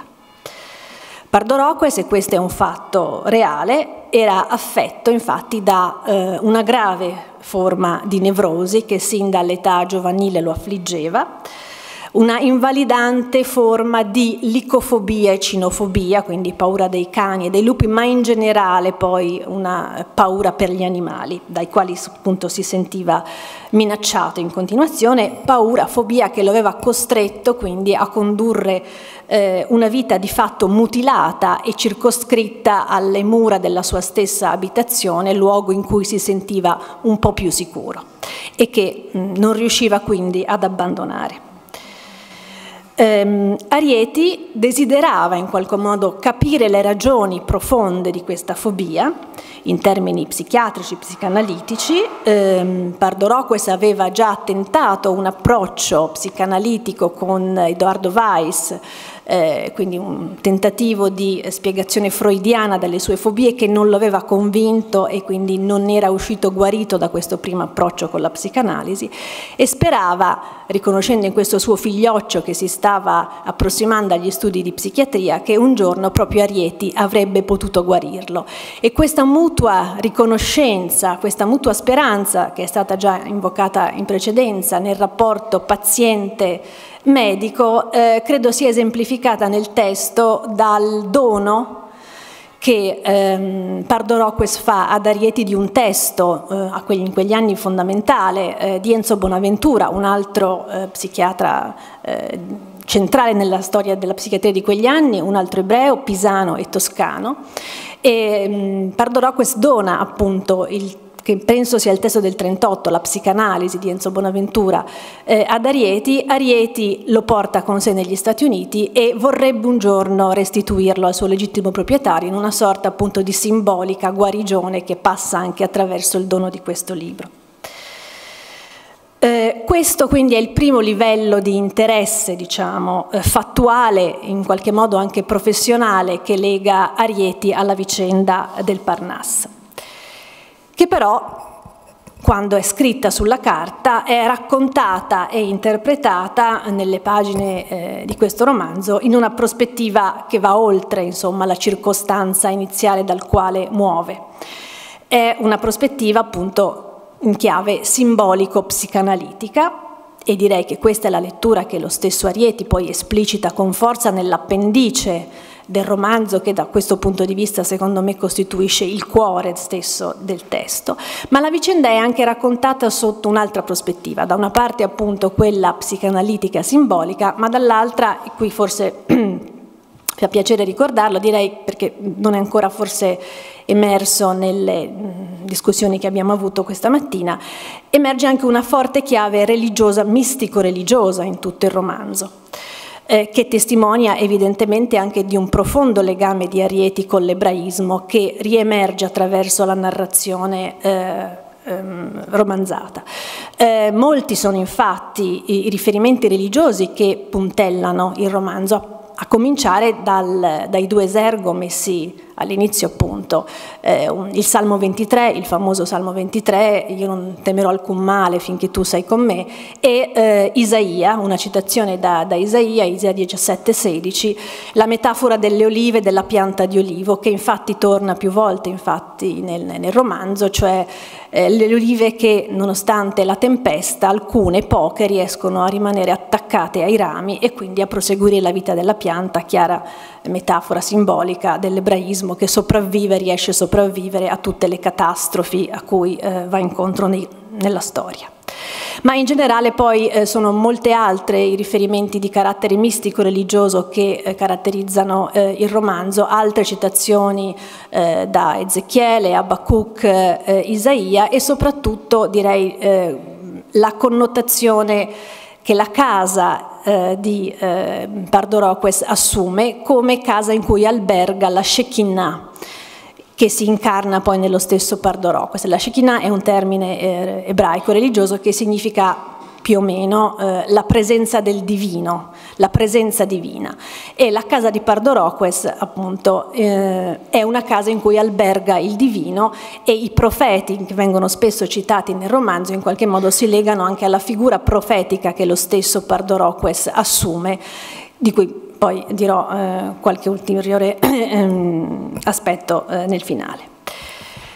Sarà dunque la fobia di cui è affetto eh, Pardoroques che lo costringerà a rimanere a Pisa perché appunto impossibilitato dalle sue paure ad allontanarsi da casa e in questo modo quindi a causa della sua fobia il destino tragico di Pardoroques si compie. Si compie in tutti i sensi perché l'arrivo dei tedeschi e il male che questi incarnano e rappresentano nella visione naturalmente di Arieti costituiranno per Pardo Roques l'epifania che nel momento finale drammatico del confronto tra Pardo Roques e i suoi aguzzini lo porterà a capire, porterà a capire che i lupi, i cani, gli animali di cui da tutta una vita eh, si sentiva oppresso e minacciato, altro non sono che alcuni dei suoi stessi simili. Quindi in questa epifania finale, in cui capisce la ragione fondamentale delle sue fobie, catarticamente in qualche modo Pardoroques guarisce, pur andando incontro con questa catarsi anche al compiersi del suo destino e la morte, ma in una vicenda che almeno dà un senso alla sua stessa esistenza e gli permette finalmente di capire il senso stesso della sua esistenza. Direi che quindi, eh, sempre rimanendo a questa lettura simbolica eh, psicanalitica, Arieti ha voluto qui eh, sottolineare la grandezza che a volte è implicita e la capacità profetica che talvolta è implicita nella malattia mentale che può racchiudere ed esprimere anche parte della spiritualità dell'uomo. Quindi la visione di una malattia mentale come produttrice anche di valori o eh, secondo una prospettiva tra molte virgolette creatrice che, ma che si rifà anche appunto a passi dell'esperienza professionale, se ho ben capito, dello stesso Arieti. Eh, non solo, eh, Arieti ha voluto con questa vicenda sottolineare, con il racconto di questa vicenda, sottolineare il nesso tra la malattia personale e individuale, la tragedia personale e la malattia e la tragedia collettiva sociale che ha rappresentato il nazismo e l'antisemitismo portato avanti appunto dai nazifascisti. Questa quindi credo sia la lettura che Arieti ha voluto dare al suo testo.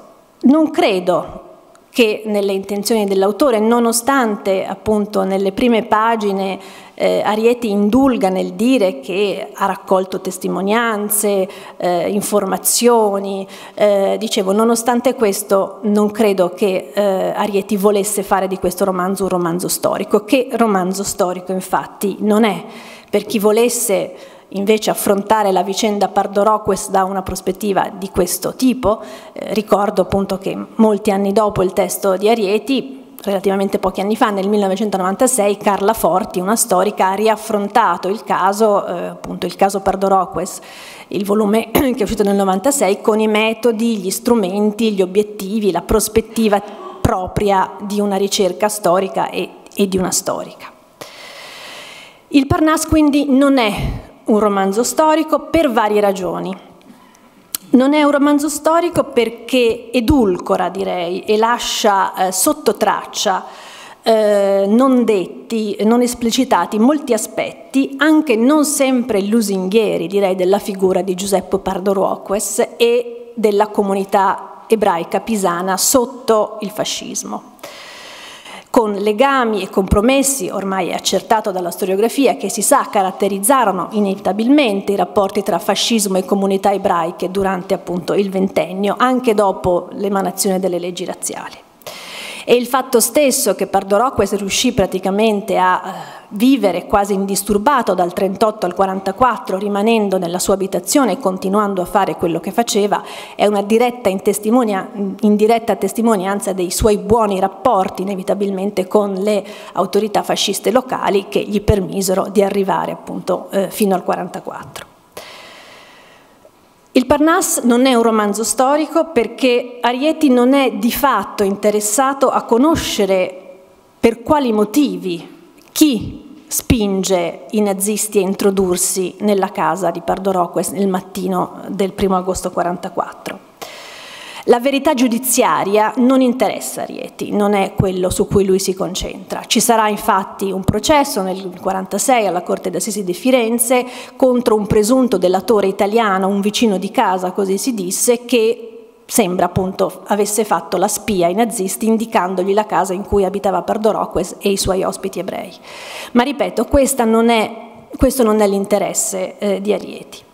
Infine, il Parnasse non è un romanzo storico perché il nazismo è rappresentato e visto come eh, l'espressione, l'incarnazione appunto di un male assoluto, inconcepibile, che sembra quindi trascendere ogni umana possibilità di comprensione e di spiegazione, e non è quindi visto e considerato come un fenomeno storico, quale esso fu, storicamente collocato, storicamente contestualizzabile e contestualizzato, ma è appunto considerato in una prospettiva del tutto metastorica. E tuttavia, nonostante queste mie premesse per cui il Parnasse non può essere definito un romanzo storico, da storica mh, mm, posso dire, mi avventuro nel dire che ci sono alcuni elementi che consentono ormai oggi di inserire il Parnasse all'interno della storiografia della Shoah e sulla Shoah e permettono di considerarlo di per sé stesso, dunque, non per quello che racconta o per come lo racconta, un documento storico a sé stante. Cosa voglio dire? Il primo elemento che ha a che fare con questa possibile storicizzazione del Parnasse ha a che fare con la distanza cronologica che ho appunto già accennato eh, prima, oltre 35 anni tra la vicenda narrata e il momento in cui Arieti decide di raccontarla. Gli storici lo sanno che in qualche modo è sempre necessario un lasso di tempo, anche ampio, anche in termini di decenni, per affrontare storicamente un avvenimento e per cercare di spiegarlo e contestualizzarlo. Ma soprattutto questa distanza personale che lega Arieti dai fatti raccontati, noi ormai sappiamo che per, per molti anni e per molti sopravvissuti dalla Shoah eh, in Italia come altrove, ehm, occorsero decenni prima di poter riparlare di quello che era successo.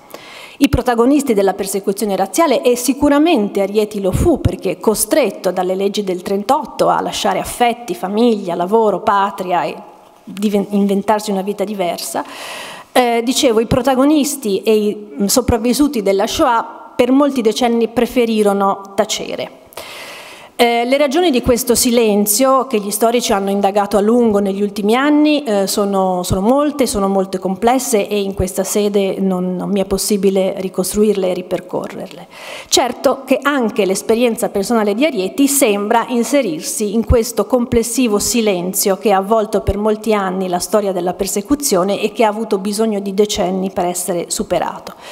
Nel caso specifico, ma è già stato accennato, ma lo sottolineo di nuovo, mi sembra evidente che ehm, ci sia da parte eh, di Arieti anche appunto, un senso di colpa tipico del sopravvissuto che impedisce nell'immediato eh, di affrontare eh, storicamente o anche da un punto di vista emotivo il trauma eh, appena vissuto. E infatti eh, nell'introduzione che è già stata citata, quindi non la ehm, citerò nuovamente, dice a un certo punto questo non è un romanzo scritto con l'inchiostro, ma è un romanzo scritto con il sangue, a testimoniare il coinvolgimento emotivo che lui mette in questa sua opera. Ma il secondo elemento, eh, collegato peraltro a quello che ho appena ricordato, che permette di storicizzare il Parnasse, riguarda più in generale la riscoperta dell'ebraismo e della Shoah che si verifica a livello non solo italiano ma è un fenomeno transnazionale che comincia dagli Stati Uniti e poi coinvolge di fatto tutta l'Europa e anche l'Italia Dicevo di riscoperta dell'ebraismo e della Shoah che avviene proprio negli anni in cui Arieti scrive il Parnasse. Ehm, anche in questo caso le ragioni di questa riscoperta della Shoah e dell'ebraismo sono molte, sono molto complesse, ma si verificano proprio in quel lasso di tempo. Siamo tra la fine degli anni 70 e l'inizio degli anni 80. Gli anni 80 segnano letteralmente a livello storiografico, ma anche mass mediatico, l'esplosione di interesse verso eh, l'Olocausto. E vi ricordo solo per rimanere e citare alcuni pochi casi eh, relativi allo scenario italiano, che è nel 79 per esempio che eh, la RAI trasmette la miniserie americana Olocausto, andata in onda negli Stati Uniti solo l'anno prima.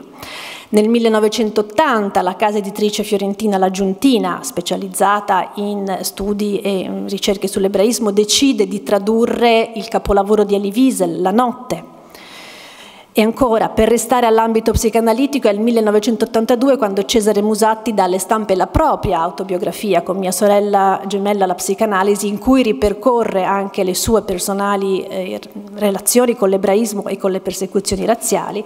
E infine l'86, l'anno in cui dopo dieci faticosi lunghi anni di gestazione, Primo Levi dà alle stampe l'ultimo testo, I sommersi e salvati, eh, che opera che come sapete indaga sulla natura del male, sulla natura dell'uomo e che quindi anche in questo senso si può ricondurre almeno in parte ai temi eh, e alle problematiche che Arieti ha voluto trattare nel Parnasse. Dunque è in questo senso, direi, se considerato in questa prospettiva eh, storiografica nazionale e transnazionale di riscoperta, quindi della Shoah, che il Parnasse, pur non volendo essere e pur non essendo un'opera storica, credo che po oggi possa a sua volta essere in qualche modo storicizzato. E vi ringrazio.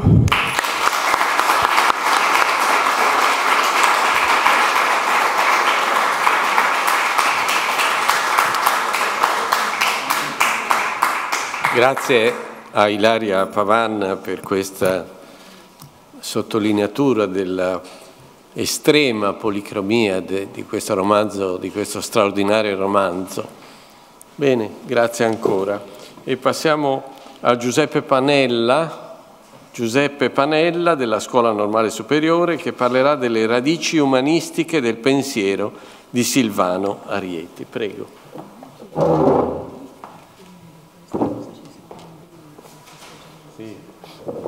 Io mi, dice Rita Bruschi di sottolineare che alla fine di questa presentazione ci sarà un brindisi per festeggiare ovviamente, per dar luogo a questo festeggiamento e quindi rimanete per questo brindisi che permetterà anche una nostra interazione eh, e continuare magari i commenti sulle presentazioni di oggi.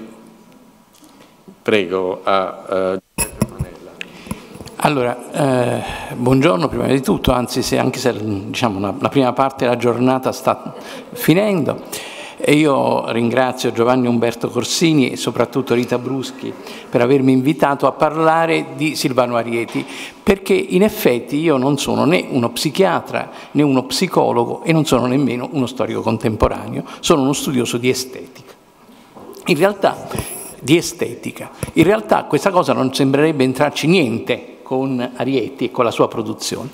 In realtà io stesso mi sono accorto invece della della profondità e della, della intrinseca importanza e necessità di studiare, di verificare, di analizzare la dimensione umanistica all'interno del pensiero di Silvano Arieti a differenza degli illustri eh, relatori che mi hanno preceduto, soprattutto Marco Bacciagalupi, ma anche Pazzai, che hanno avuto rapporti di dimestichezza profonda con Arieti, io posso soltanto citare eh, una presentazione qui pisana del Parnasse nell'80, al quale partecipai e in cui ricordo vagamente di aver intravisto la figura di Arieti, che era venuto in Italia a presentare il suo romanzo, allora tradotto non da lui, per Mondadori e il punto interessante era che appunto Arieti eh, apparve come una persona di straordinarie capacità ma di anche di una straordinaria modestia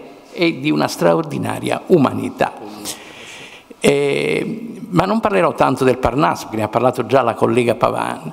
Quello che mi sembra invece interessante dire è che appunto Arieti aveva competenze e conoscenze umanistiche che andavano molto al di là delle competenze, delle conoscenze che tradizionalmente in quegli anni si aveva attraverso lo studio liceale. Studi licei classici sono abbastanza severi, eccetera, ma Arieti aveva un interesse che andava al di là. Questo spunto mi è stato fornito da quello splendido necrologio che Bagiagalupi ha scritto su, eh, su, Arieti e in cui testimonia di una volontà, pare, iniziale di Arieti di eh, darsi agli studi umanistici, cioè di studiare appunto non medicina ma probabilmente lettere, e che, che lo eh, accomunava allo stesso Bagiagalupi che aveva volontà probabilmente anche lui di darsi agli studi umanistici e poi aveva optato per la medicina.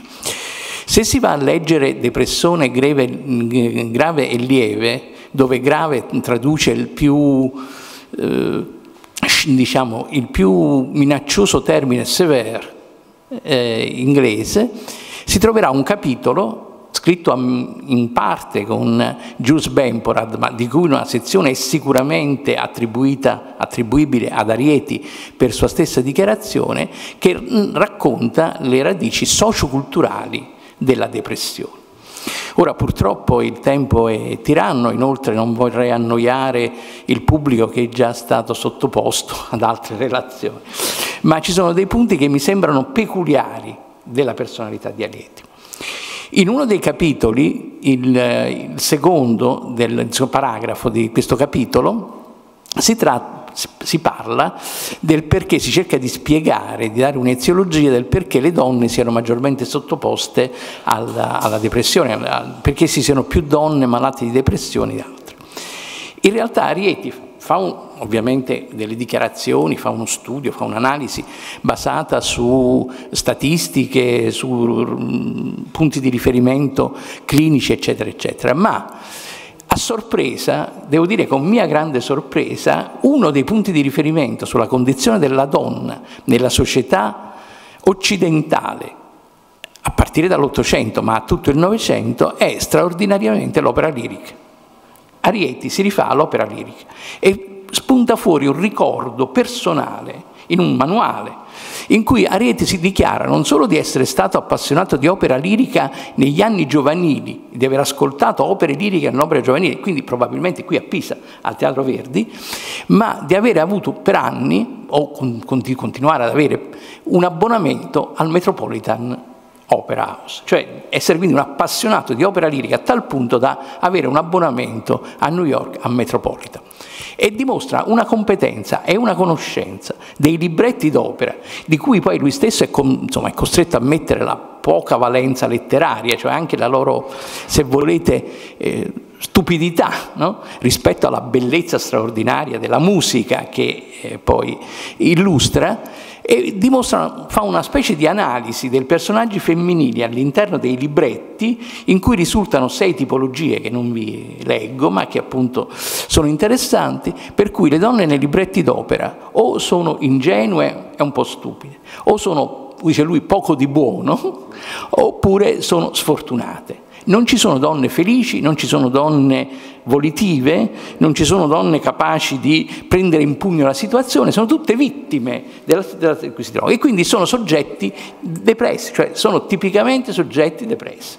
C'è un'analisi molto bella di questo che vi invito a leggere, appunto, se il libro sarà ristampato, cosa che finora non è accaduto e inviterei Baggiagalupi a farsi promotore di una ristampa del libro che lui stesso ha tradotto, e perché e, queste, sono queste figure, cioè, dice l'unica donna interessante da un punto di vista caratteriale che noi troviamo nell'opera lirica è quello di Minni, nella fanciulla dell'Ouest di Giacomo Puccini, che però purtroppo non è tra le opere migliori di Puccini, pur essendo questo personaggio forte, infatti decide tra due, tra un cowboy e un problema, però eh, l'opera lirica non è tra le più riuscite. Sono molto più riuscite altre opere liriche in cui invece il personaggio femminile è schiacciato o dalla sua stessa volubilità, no? dal volersi proporre come soggetto seduttivo, oppure dal destino, oppure dal non essere stati capaci.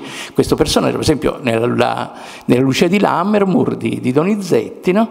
eh, addirittura alla fine la, la protagonista femminile esplode in quella che viene chiamata dagli esperti di, eh, di, opera lirica, la scena della pazzia, no? in cui Lucia di Lammermoor esplode e uccide il marito impostogli dal fratello. Quindi abbiamo da un lato uno, una conoscenza notevole, ripeto, che farebbe da, insomma, fa invidia anche agli appassionati di lirica, come io mi ritengo, perché appunto c'è questa analisi dei personaggi che è veramente importante. Ma c'è di più.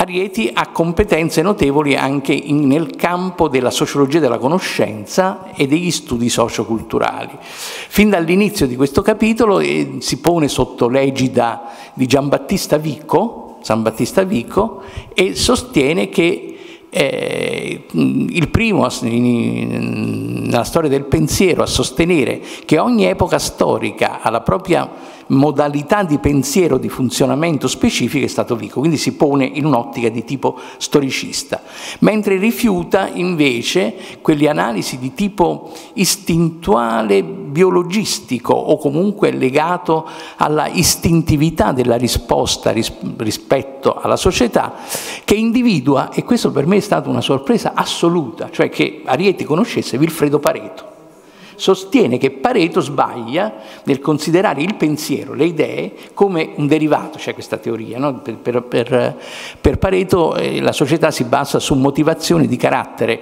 o economico o fisico, no? mentre invece le idee sono un derivato di queste condizioni. E lui, lui nega appunto che Pareto abbia ragione e annuncia anche, sostiene anche che Freud, che è sulle stesse posizioni di Pareto, e quindi crea un postulato, un rapporto con, tra Freud e Pareto, anche lui sbaglia nel pensare che le idee non abbiano importanza nella costruzione della soggettività e della capacità di rapporto tra l'uomo e la società. Inoltre, e questo che poi mi intriga maggiormente, a parte queste considerazioni di carattere generale sull'opera lirica e sulla sociologia della conoscenza, è il rapporto che ha con la letteratura.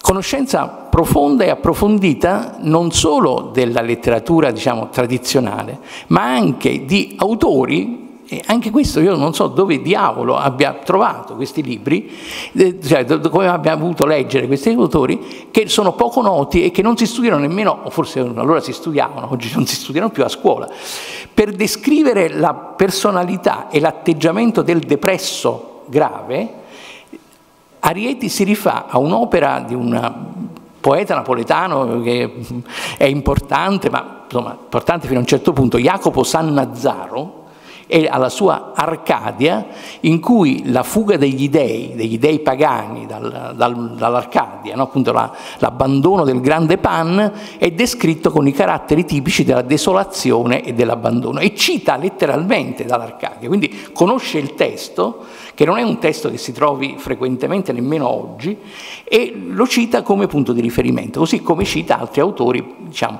per certi aspetti più noti. La sua cultura non sembra in quel capitolo quella di uno psichiatra tradizionale, assolutamente. Conosce autori della letteratura francese importanti come De Musset, come Hugo, però cita anche eh, il rapporto tra poeta romantico e società in un autore meno, forse all'epoca più letto, oggi credo completamente negletto, come Alphonse de Lamartine che in un suo testo appunto descrive il poeta romantico abbandonato dal, sua, ai suoi sogni di gloria, mentre invece la società si dedica maggiormente a attività commerciali ed economiche come un punto di riferimento per la descrizione della, della depressione. Ma c'è anche di più. Il genere letterario che eh, io credo di poter considerare il più importante per Arieti è la tragedia non solo la tragedia greca, ma anche la tragedia moderna, quindi Shakespeare, no? di cui cita Amleto, cita Macbeth, cita King Lear. Ma quello che è interessante è che lo fa non tanto sulla base di una conoscenza di opere diciamo, che dovrebbero far parte del bagaglio, fanno parte, sono ottimista da questo punto di vista, che fanno parte del bagaglio di ogni persona colta. Lo fa attraverso la conoscenza e le analisi di un testo che io sfido i non diciamo, studiosi di filosofia a aver letto o comunque a conoscere con l'accuratezza con cui la conosce Ariete. Nel corpus aristotelico, sicuramente pseudo-aristotelico, uno dei testi più diciamo, letti nel Medioevo è il cosiddetto volume dei Problemata, che sono una serie di aggiunte all'opera aristotelica. Uno di essi, Problemata 31, è il più noto, perché è noto, diciamo, è stato tradotto anche nell'edizione italiana, come la melanconia, la malinconia dell'uomo di genio. È una spiegazione del perché gli uomini di genio, gli uomini superiori, quelli che una, sono su una spanna più su rispetto agli altri, siano però sottoposti o soggetti a crisi di depressione o di esaltazione, quindi a crisi maniaco-depressiva. Il perché, cioè la spiegazione è legata alla medicina ippocratico-galenica e alla teoria degli umori, quella che poi comparirà in tutta la sua grandezza anche in Jung, no? nei tipi psicologici jungiani, per cui negli uomini di genio c'è una sovrabbondanza di bile nera. La bile nera provoca la melanconia e quindi l'accesso di furore. Questa cosa è assolutamente, eh, diciamo, al di fuori, credo, degli studi. Lo studio di Problemata 30 credo che non compaia nei programmi di psichiatria. Però per tutta l'antichità e anche successivamente è un testo di riferimento fondamentale ed è, compare nella tragedia greca a indicare quei momenti in cui sia la depressione sia l'esaltazione si susseguono rapidamente. Jean Starobinski, ad esempio, appunto studioso della malinconia, eccetera, ha scritto un saggio, forse suo, uno dei suoi più belli, La spada di Aiace, dove analizza la Iace di Sofocle e eh, giustifica, diciamo, giustifica, analizza no? il perché, come sapete dai vostri studi di mitologia, Aiace impazzisce e vorrebbe uccidere gli Atridi, Ulisse, no? perché gli hanno sottratto le armi di Achille. No? Eh, scusate, le armi, di, le armi, di, Achille furono attribuite ad Ulisse come il miglior guerriero greco e non ad Aiace che invece diceva, sosteneva di aspirarlo. Impazzito, Aiace vorrebbe andare nelle tende dei capi greci e farne strage. Atena invece gli crea un fantasma, un simulacro, no? e gli fa credere che un gregge di capre, di, scusate, di, sì, di capre, di, di, pecore, siano in realtà gli Atrini. E quindi Aiace fa strage di questo gregge, lo, lo, stermina. Poi il giorno dopo si risveglia e vede che invece di uccidere Agamennone eh, ha ucciso le, le pecore. Allora si viene preso da depressione, cioè la crisi di esaltazione maniacale, succede la depressione ed è preso da, diciamo, da disprezzo di sé e si uccide. No? La spada, cade sulla propria spada, no? come morivano i guerrieri antichi. E, e Arieti conosce bene questi testi, questo, queste analisi ippocratiche, queste analisi galeniche e individua nella, nella, tragedia, nel modello della tragedia, in alcuni personaggi di tragedia, come Aiace, ma anche come Amleto, come Macbeth, come, eh, come King Lear, il prototipo della depressione. Ma direi di più, io non voglio prendere troppo tempo. Ah, questa analisi che lui fa appunto di Problemata 30 è splendida perché conosce un testo diciamo, minore rispetto alle opere di Aristotele, un testo minore, che però, ripeto, nella, nella, sia nella, nella tarda nell'ellenismo sia nella cultura umanistica aveva molto, avuto molta fortuna. Non solo, non solo eh, Arieti conosce Problemata 30, conosce San Nazaro, ma ha letto, perché lo cita, un testo che eh, è fondamentale per la conoscenza del Rinascimento italiano, cioè il De Vita Libri Tres di Marsilio Ficino. Cita Marsilio Ficino. E lo cita perché per lui la depressione altro non è che l'inquietudine dell'uomo di cui Ficino parla nel secondo dei, dei, dei suoi dei libri sulla vita. Cosa vuol dire? Cosa dice Ficino? Dice l'uomo in realtà è diviso in due. Da un lato partecipa della scintilla di divino che è legata alla creazione, cioè è, appunto, è stato insufflato, no? dall'altro però vive sulla terra, quindi è fatto di, di corpo. Di... La, è sempre inquieto perché aspirerebbe a una spiritualità superiore, e dall'altro però è costretto alla vita sulla terra. Questo eh, il Marsilio Ficino, ricordo qui, proprio qui nella scuola normale, le lezioni del mio maestro Eugenio Garen, eh, sono il frutto della conoscenza da parte di Marsilio Ficino, della sua traduzione, del corpus hermeticum che all'epoca eh, Ficino, come tutti gli studiosi di Platone, attribuiva appunto a Platone. Nel corpus hermeticum si sostiene che in realtà il mondo, la realtà, no, è composta da alto e basso e da micro e macro antropo, lo chiamo così. Per cui c'è da una parte una dimensione di assoluta spiritualità e dall'altra invece la parte corporea che però questa teoria del corpus hermeticum in realtà poi ricorda, ma qui spero di non essere trascinato per questa via, anzi mi taccio perché altrimenti potrei parlare a ore, con le sefirot ebraiche, che Arieti ben conosceva, e con la tradizione della Kabbalah. E che infatti appunto Marsilio conosceva, no? quindi era un kabbalista cristiano. Così come tutta una tradizione legata alla Kabbalah poi diventerà eh, la, il misticismo cristiano, com come ha mostrato Francis Yates nei suoi studi sui Rosa Croce. Quindi la depressione non è soltanto un fenomeno biologico, biologistico, organicistico che va curato con il litio, no? come all'epoca si cominciava a fare dopo gli studi di Cade, no? di JF Cade, che cita appunto che ma è un fenomeno culturale, è legato a una concezione del mondo, è legato al modo in cui gli uomini si rapportano alla realtà. Questo rapporto è legato a quella questione della eterodirezione e della autodirezione che poi è diventato un concetto sociologico centrale nella teoria di David Riesman, no? nella folla solitaria. Per cui nella società attuale gli uomini sarebbero eterodiretti, quindi hanno una funzione di rivendicazione, di rassentiment nei confronti del mondo.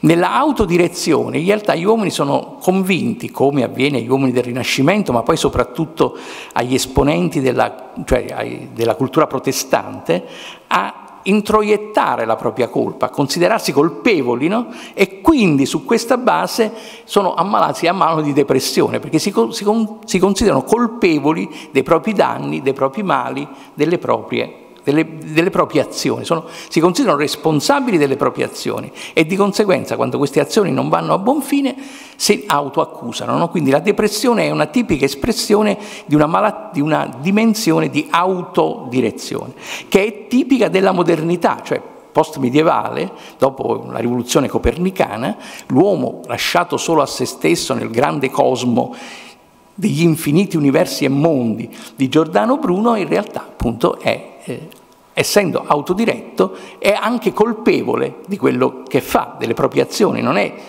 eterodiretto e di conseguenza la depressione è il frutto di questo. Nella società attuale, mm, e qui vado verso la conclusione, eh, Arieti eh, dimostra anche competenze in letteratura contemporanea, forse non inconsuete, ma sicuramente importanti. Cita eh, il mito di Sisifo di, mm, di eh, Albert Camus, no? che è un testo del 1942, e dice appunto, Albert Camus dice che non c'è nessuna ragione perché gli uomini moderni oggi non dovrebbero suicidarsi, cioè il suicidio, dice Camus in questo testo, no? è forse l'unico atto normale dell'essere umano, perché appunto a che serve vivere? Cito la Camus, gli uomini muoiono e non sono felici. Quindi la depressione in realtà è già dentro di loro. No? E poi cita ancora En attendant Godot, aspettando Godot di Samuel Beckett, dove appunto un personaggio, Valdimiro, dice ma dove si va? Non c'è niente, non succede niente, non accade niente, quindi che, a che serve vivere? Qual è la realtà della vita? Cosa, la vita non ha senso, che è un tipico, una tipica forma espressiva della depressione, depressione lieve ma anche della depressione grave. Ma a questo Arieti obietta.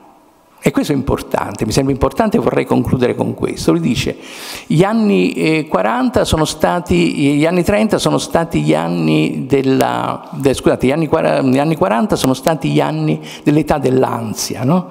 la Age of Anxiety, che è il titolo di una celebre raccolta di poesie di Winston Hugh Oden, che appunto precedentemente Arieti ha citato, quindi conosce i poeti inglesi come Oden, come Day Lewis, eccetera. Gli anni 50 sono stati, eh, cioè gli anni, gli anni 50 sono stati gli anni dell'alienazione, no? Ricorderete per esempio un celebre film di Michelangelo Antonioni, La notte, no? in cui si parla dell'alienazione, non più come concetto filosofico hegeliano marxista, ma proprio come condizione dello spirito. Gli anni 60 sono stati gli anni della rivolta, dice lui, della collera, no? quindi allusione alle rivolte giovanili, eccetera, eccetera. Gli anni 70, dicono, saranno gli anni della depressione, ma non è vero. Citando uno scrittore inglese che in Italia ha avuto, di la verità, scarsa fortuna, John Gardner, che ha scritto un, uh, un pamphlet Dead by Pen, morte per penna, no? che è come sottotitolo, alcuni uccidono con la spada, altri con la penna, che è una criptocitazione dalla ballata del carcere di Reading di Oscar Wilde, Gardner diceva appunto che ci sono degli scrittori che uccidono con la penna. No? Precedentemente anche Arieti aveva citato I dolori del giovane Werther di Goethe, che causò, come forse, come sicuramente sapete, un'epidemia di suicidi nell'intera Europa. No? Giovani si uccidevano perché avevano letto Werther e consideravano uccidersi, si direbbe oggi cool, no? alla, pace, alla pace, fico. Ma la depressione, la condizione depressa all'interno di questa grande letteratura, Beckett, Camus, eccetera, conduce a una condizione di depressione che non è soltanto una malattia, ma è uno stato d'animo, è una Weltanschauung, diciamo, dalla quale però bisogna uscire. E nel finale di questo capitolo poi la parte successiva sarà scritta, e non ne parlo, da Jules Bemporad, no? il, eh, il, cugino, ed è dedicata con un'analisi splendida, ma appunto non è Arieti, quindi non, è, non se ne parla, di Franz Kafka, no? in cui appunto la metamorfosi, la trasformazione di Gregor Samsa in un gigantesco insetto, come sapete, è, è simbolo della depressione grave, no? appunto del, di chi si considera un insetto, si considera uno scarafaggio, si considerata un insetto. Diciamo, nella conclusione del suo saggio Arieti dice che invece bisogna avere fiducia nell'uomo, bisogna avere speranza, che in realtà la depressione non è una condizione esistenziale necessaria, ma è qualcosa da cui si può uscire e si può uscire nel momento in cui si ha fiducia in se stessi. Compito dello psicoterapeuta è quello di dare fiducia ai propri pazienti, instillare in essi la speranza, la, pazienti depressi, ma insomma i pazienti malati, e dire che in realtà dalla condizione degli anni 70 in cui lui scrive, dalla condizione della depressione si può uscire. Si può uscire grazie al rafforzamento della dimensione umanistica della cultura attraverso una interrelazione tra cura eh, medica, insomma cura clinica, cura psichiatrica e dimensione umanistica, per cui quelle forme espressive, letterarie, hanno una loro importanza notevole anche all'interno della cura e che lo psichiatra, lo psicanalista non può trascurarle, considerarle come un fenomeno accessorio rispetto alla cura col litio o alle, alle cure mediche, che quindi la letteratura è una forma di cura, è una forma terapeutica. In questo messaggio, questo messaggio di speranza, lui, mm, questo libro è scritto tra le ultime opere di Arieti, ha scritto prima del Parnasma, in realtà è una delle, delle sue opere diciamo, eh, cliniche importanti scritte in finale di, di carriera, Arieti consegna il proprio messaggio di speranza nei confronti della psichiatria ma anche della cultura come strumento di cura e come strumento di redenzione, qui forse il messaggio mistico, no? di redenzione dell'umanità. Ed è per questo che credo, e qui concludo, che la collega Pavan abbia ragione nel dire che il Parnasse non è un romanzo, non è un romanzo storico, né forse non è nemmeno un romanzo, è una tragedia. Perché? A parte la parte scritta sotto forma di dialogo, no? sotto la parte finanziaria, ma in realtà il rapporto tra l'uomo e il destino appare come l'elemento fondamentale della scrittura letteraria di Arieti. Ma nella tragedia, nonostante Sapete, la tragedia, nonostante gli dei intervengano e condannino, il fato intervenga e condanna gli uomini a un destino tragico e mortale, c'è sempre la speranza, la catarsi, appunto aristotelica, mediante il quale dalle colpe e dalla punizione delle colpe scaturisce un messaggio di speranza, come quello che Edipo o Edipo lascia ai suoi spettatori nel momento in cui si incammina verso Colono, dove concluderà la propria vita. Grazie.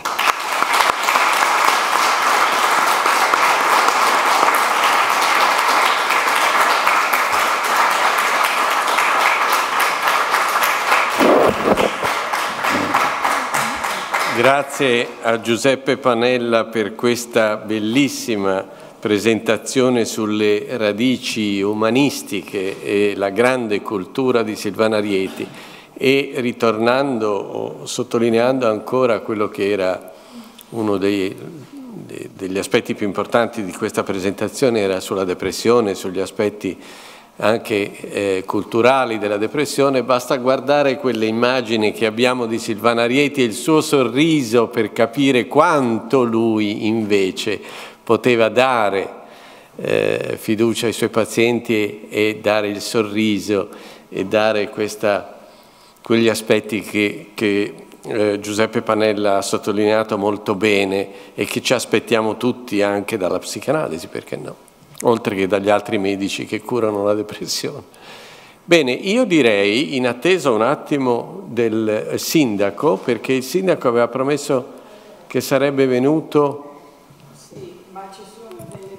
ci sono delle difficoltà per, eh, per Marco Filippeschi. Allora abbiamo il piacere di avere l'assessore alla cultura che è qui con noi e sì. concluderà lui allora? Concluderà Ma io lei. semplicemente un saluto e un ringraziamento anche al nome dell'amministrazione comunale e del sindaco di Pisa che si scusa con tutte e tutti voi ma purtroppo altri impegni lo hanno portato lontano dalla eh, nostra giornata di stamani, ma io eh, ho assistito con eh, molto piacere e eh, molto coinvolgimento e ringrazio l'associazione per questa giornata di studi, per questa mattinata davvero importante e significativa eh, per questo nostro concittadino. Credo che, eh, di, essere, di aver assistito davvero a un, serie di relazioni, è un, un ricordo davvero vibrante stamani eh, di Silvano Arieti, per come è stato condotto eh, dalle persone che eh, sono intervenute dando di questa figura davvero eh, ampiezza eh, e mettendo in luce tutte le eh, caratteristiche, eh, le peculiarità, eh, l'eccentricità e anche la complessità e l'intensità di questa, di questa importante figura per la nostra città, per il nostro paese e per il mondo intero.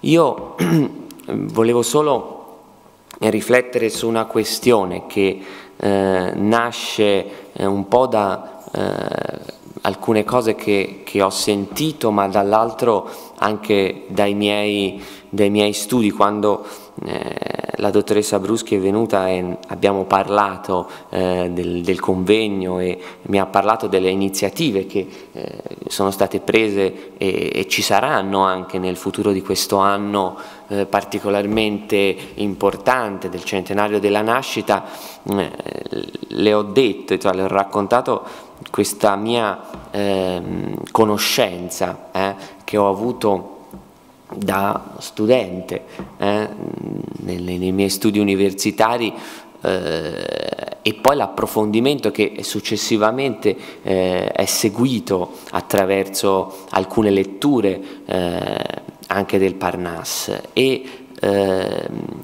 quando eh, Ernesto De Martino che, che, non possiamo semplicemente definire filosofo o antropologo, ma è una figura talmente importante secondo me, talmente complessa per la cultura del nostro paese, eh, in alcuni dei frammenti, dei brani della fine del mondo, poi raccolti postumi, ehm, eh, affronta il tema eh, e, e quasi fa una catalogazione eh, della schizofrenia eh, si rifà proprio agli studi di Silvano Arieti e quasi utilizza naturalmente eh, riprendendo e sintetizzando sintomi, patologie. E da questo punto di vista mi pare molto importante come leghi questo tema, questo, eh, questa patologia rispetto a eh, delle sue eh, uno dei suoi temi fondamentali che nel corso della sua vita lo accompagnano ma che in questo preciso momento eh, non solo eh, individua come la perdita della presenza ma proprio come la catastrofe della presenza.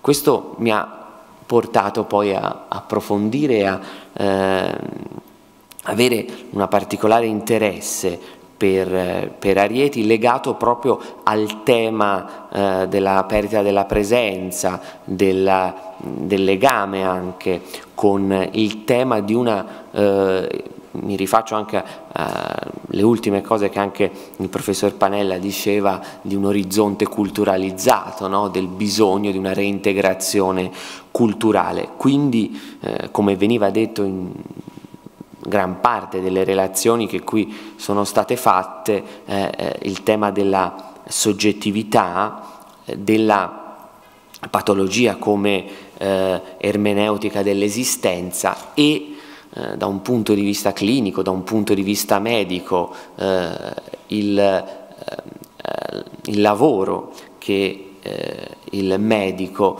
e lo studioso deve fare col malato, col paziente, appunto in un rapporto autentico e, un, e non in un rapporto freddo e esclusivamente clinico. Eh, da questo punto di vista io penso che eh, le cose che anche venivano dette eh, dal professor Corrado Rossi siano fondamentali anche per quello che la città ha fatto e per le occasioni e i luoghi e gli strumenti che sono stati messi a disposizione anche negli ultimi anni proprio per far sì che buone pratiche vengano, alla luce di insegnamenti fecondi e ancora attuali, vengano eh, costruiti insieme dalla comunità scientifica, dagli operatori sociali e dall'amministrazione comunale che da questo punto di vista eh, credo abbia dimostrato, ma lo dovrà fare ancora di più e con più intensità eh, nel futuro un'attenzione e una partecipazione alla costruzione di una comunità accogliente, vitale e che eh, non stigmatizza ma cerca di costruire nella relazione, nella condivisione appunto e anche nella semplicità delle relazioni una comunità migliore e una società più giusta. Quindi da questo punto di vista un ringraziamento ma anche un auspicio che proprio eh, la qualità, eh, l'intensità e la eh, eh, bellezza che oggi questo convegno ci ha regalato, eh, ne, ne, ne, seguo tanti, sono chiamato a partecipare a tanti, ma davvero non in maniera eh, eh, diciamo formale, ma in maniera davvero sentita, penso di aver assistito davvero a una ehm, occasione che la vostra associazione, insieme ovviamente alla scuola normale superiore, al comune e agli altri enti che hanno partecipato alla giornata di oggi, davvero ehm, è stata un'occasione unica proprio per aver restituito eh, la complessità di questa figura in maniera non solo esaustiva ma anche, ed esauriente, ma anche in maniera vitale, cosa che credo in questo centesimo anniversario, in questo eh, centenario della nascita sia stato davvero importante e significativo, così come, eh, e lo dico eh, concludendo questo mio breve intervento, così come eh, avere in questo anno così significativo per la nostra città l'emissione eh, di un francobollo commemorativo per Silvano Arieti nel centenario della sua eh, nascita e per Galileo Galilei nel 450 anniversario della nascita testimonia la grandezza delle due figure naturalmente, ma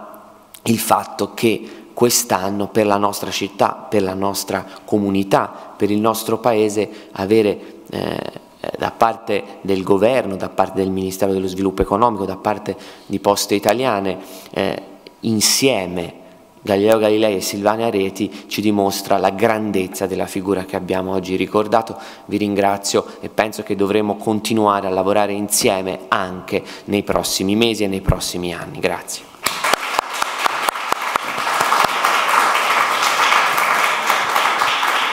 Bene.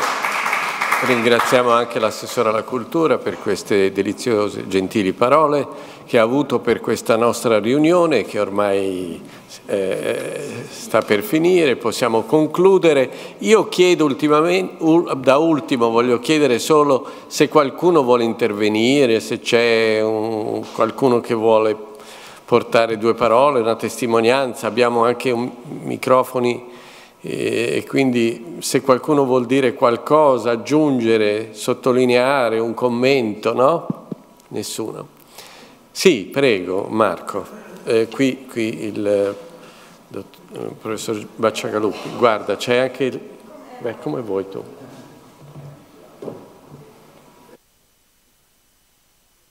Per un secondo, per dirvi una cosa che ho saputo due giorni fa quindi è una notizia molto fresca.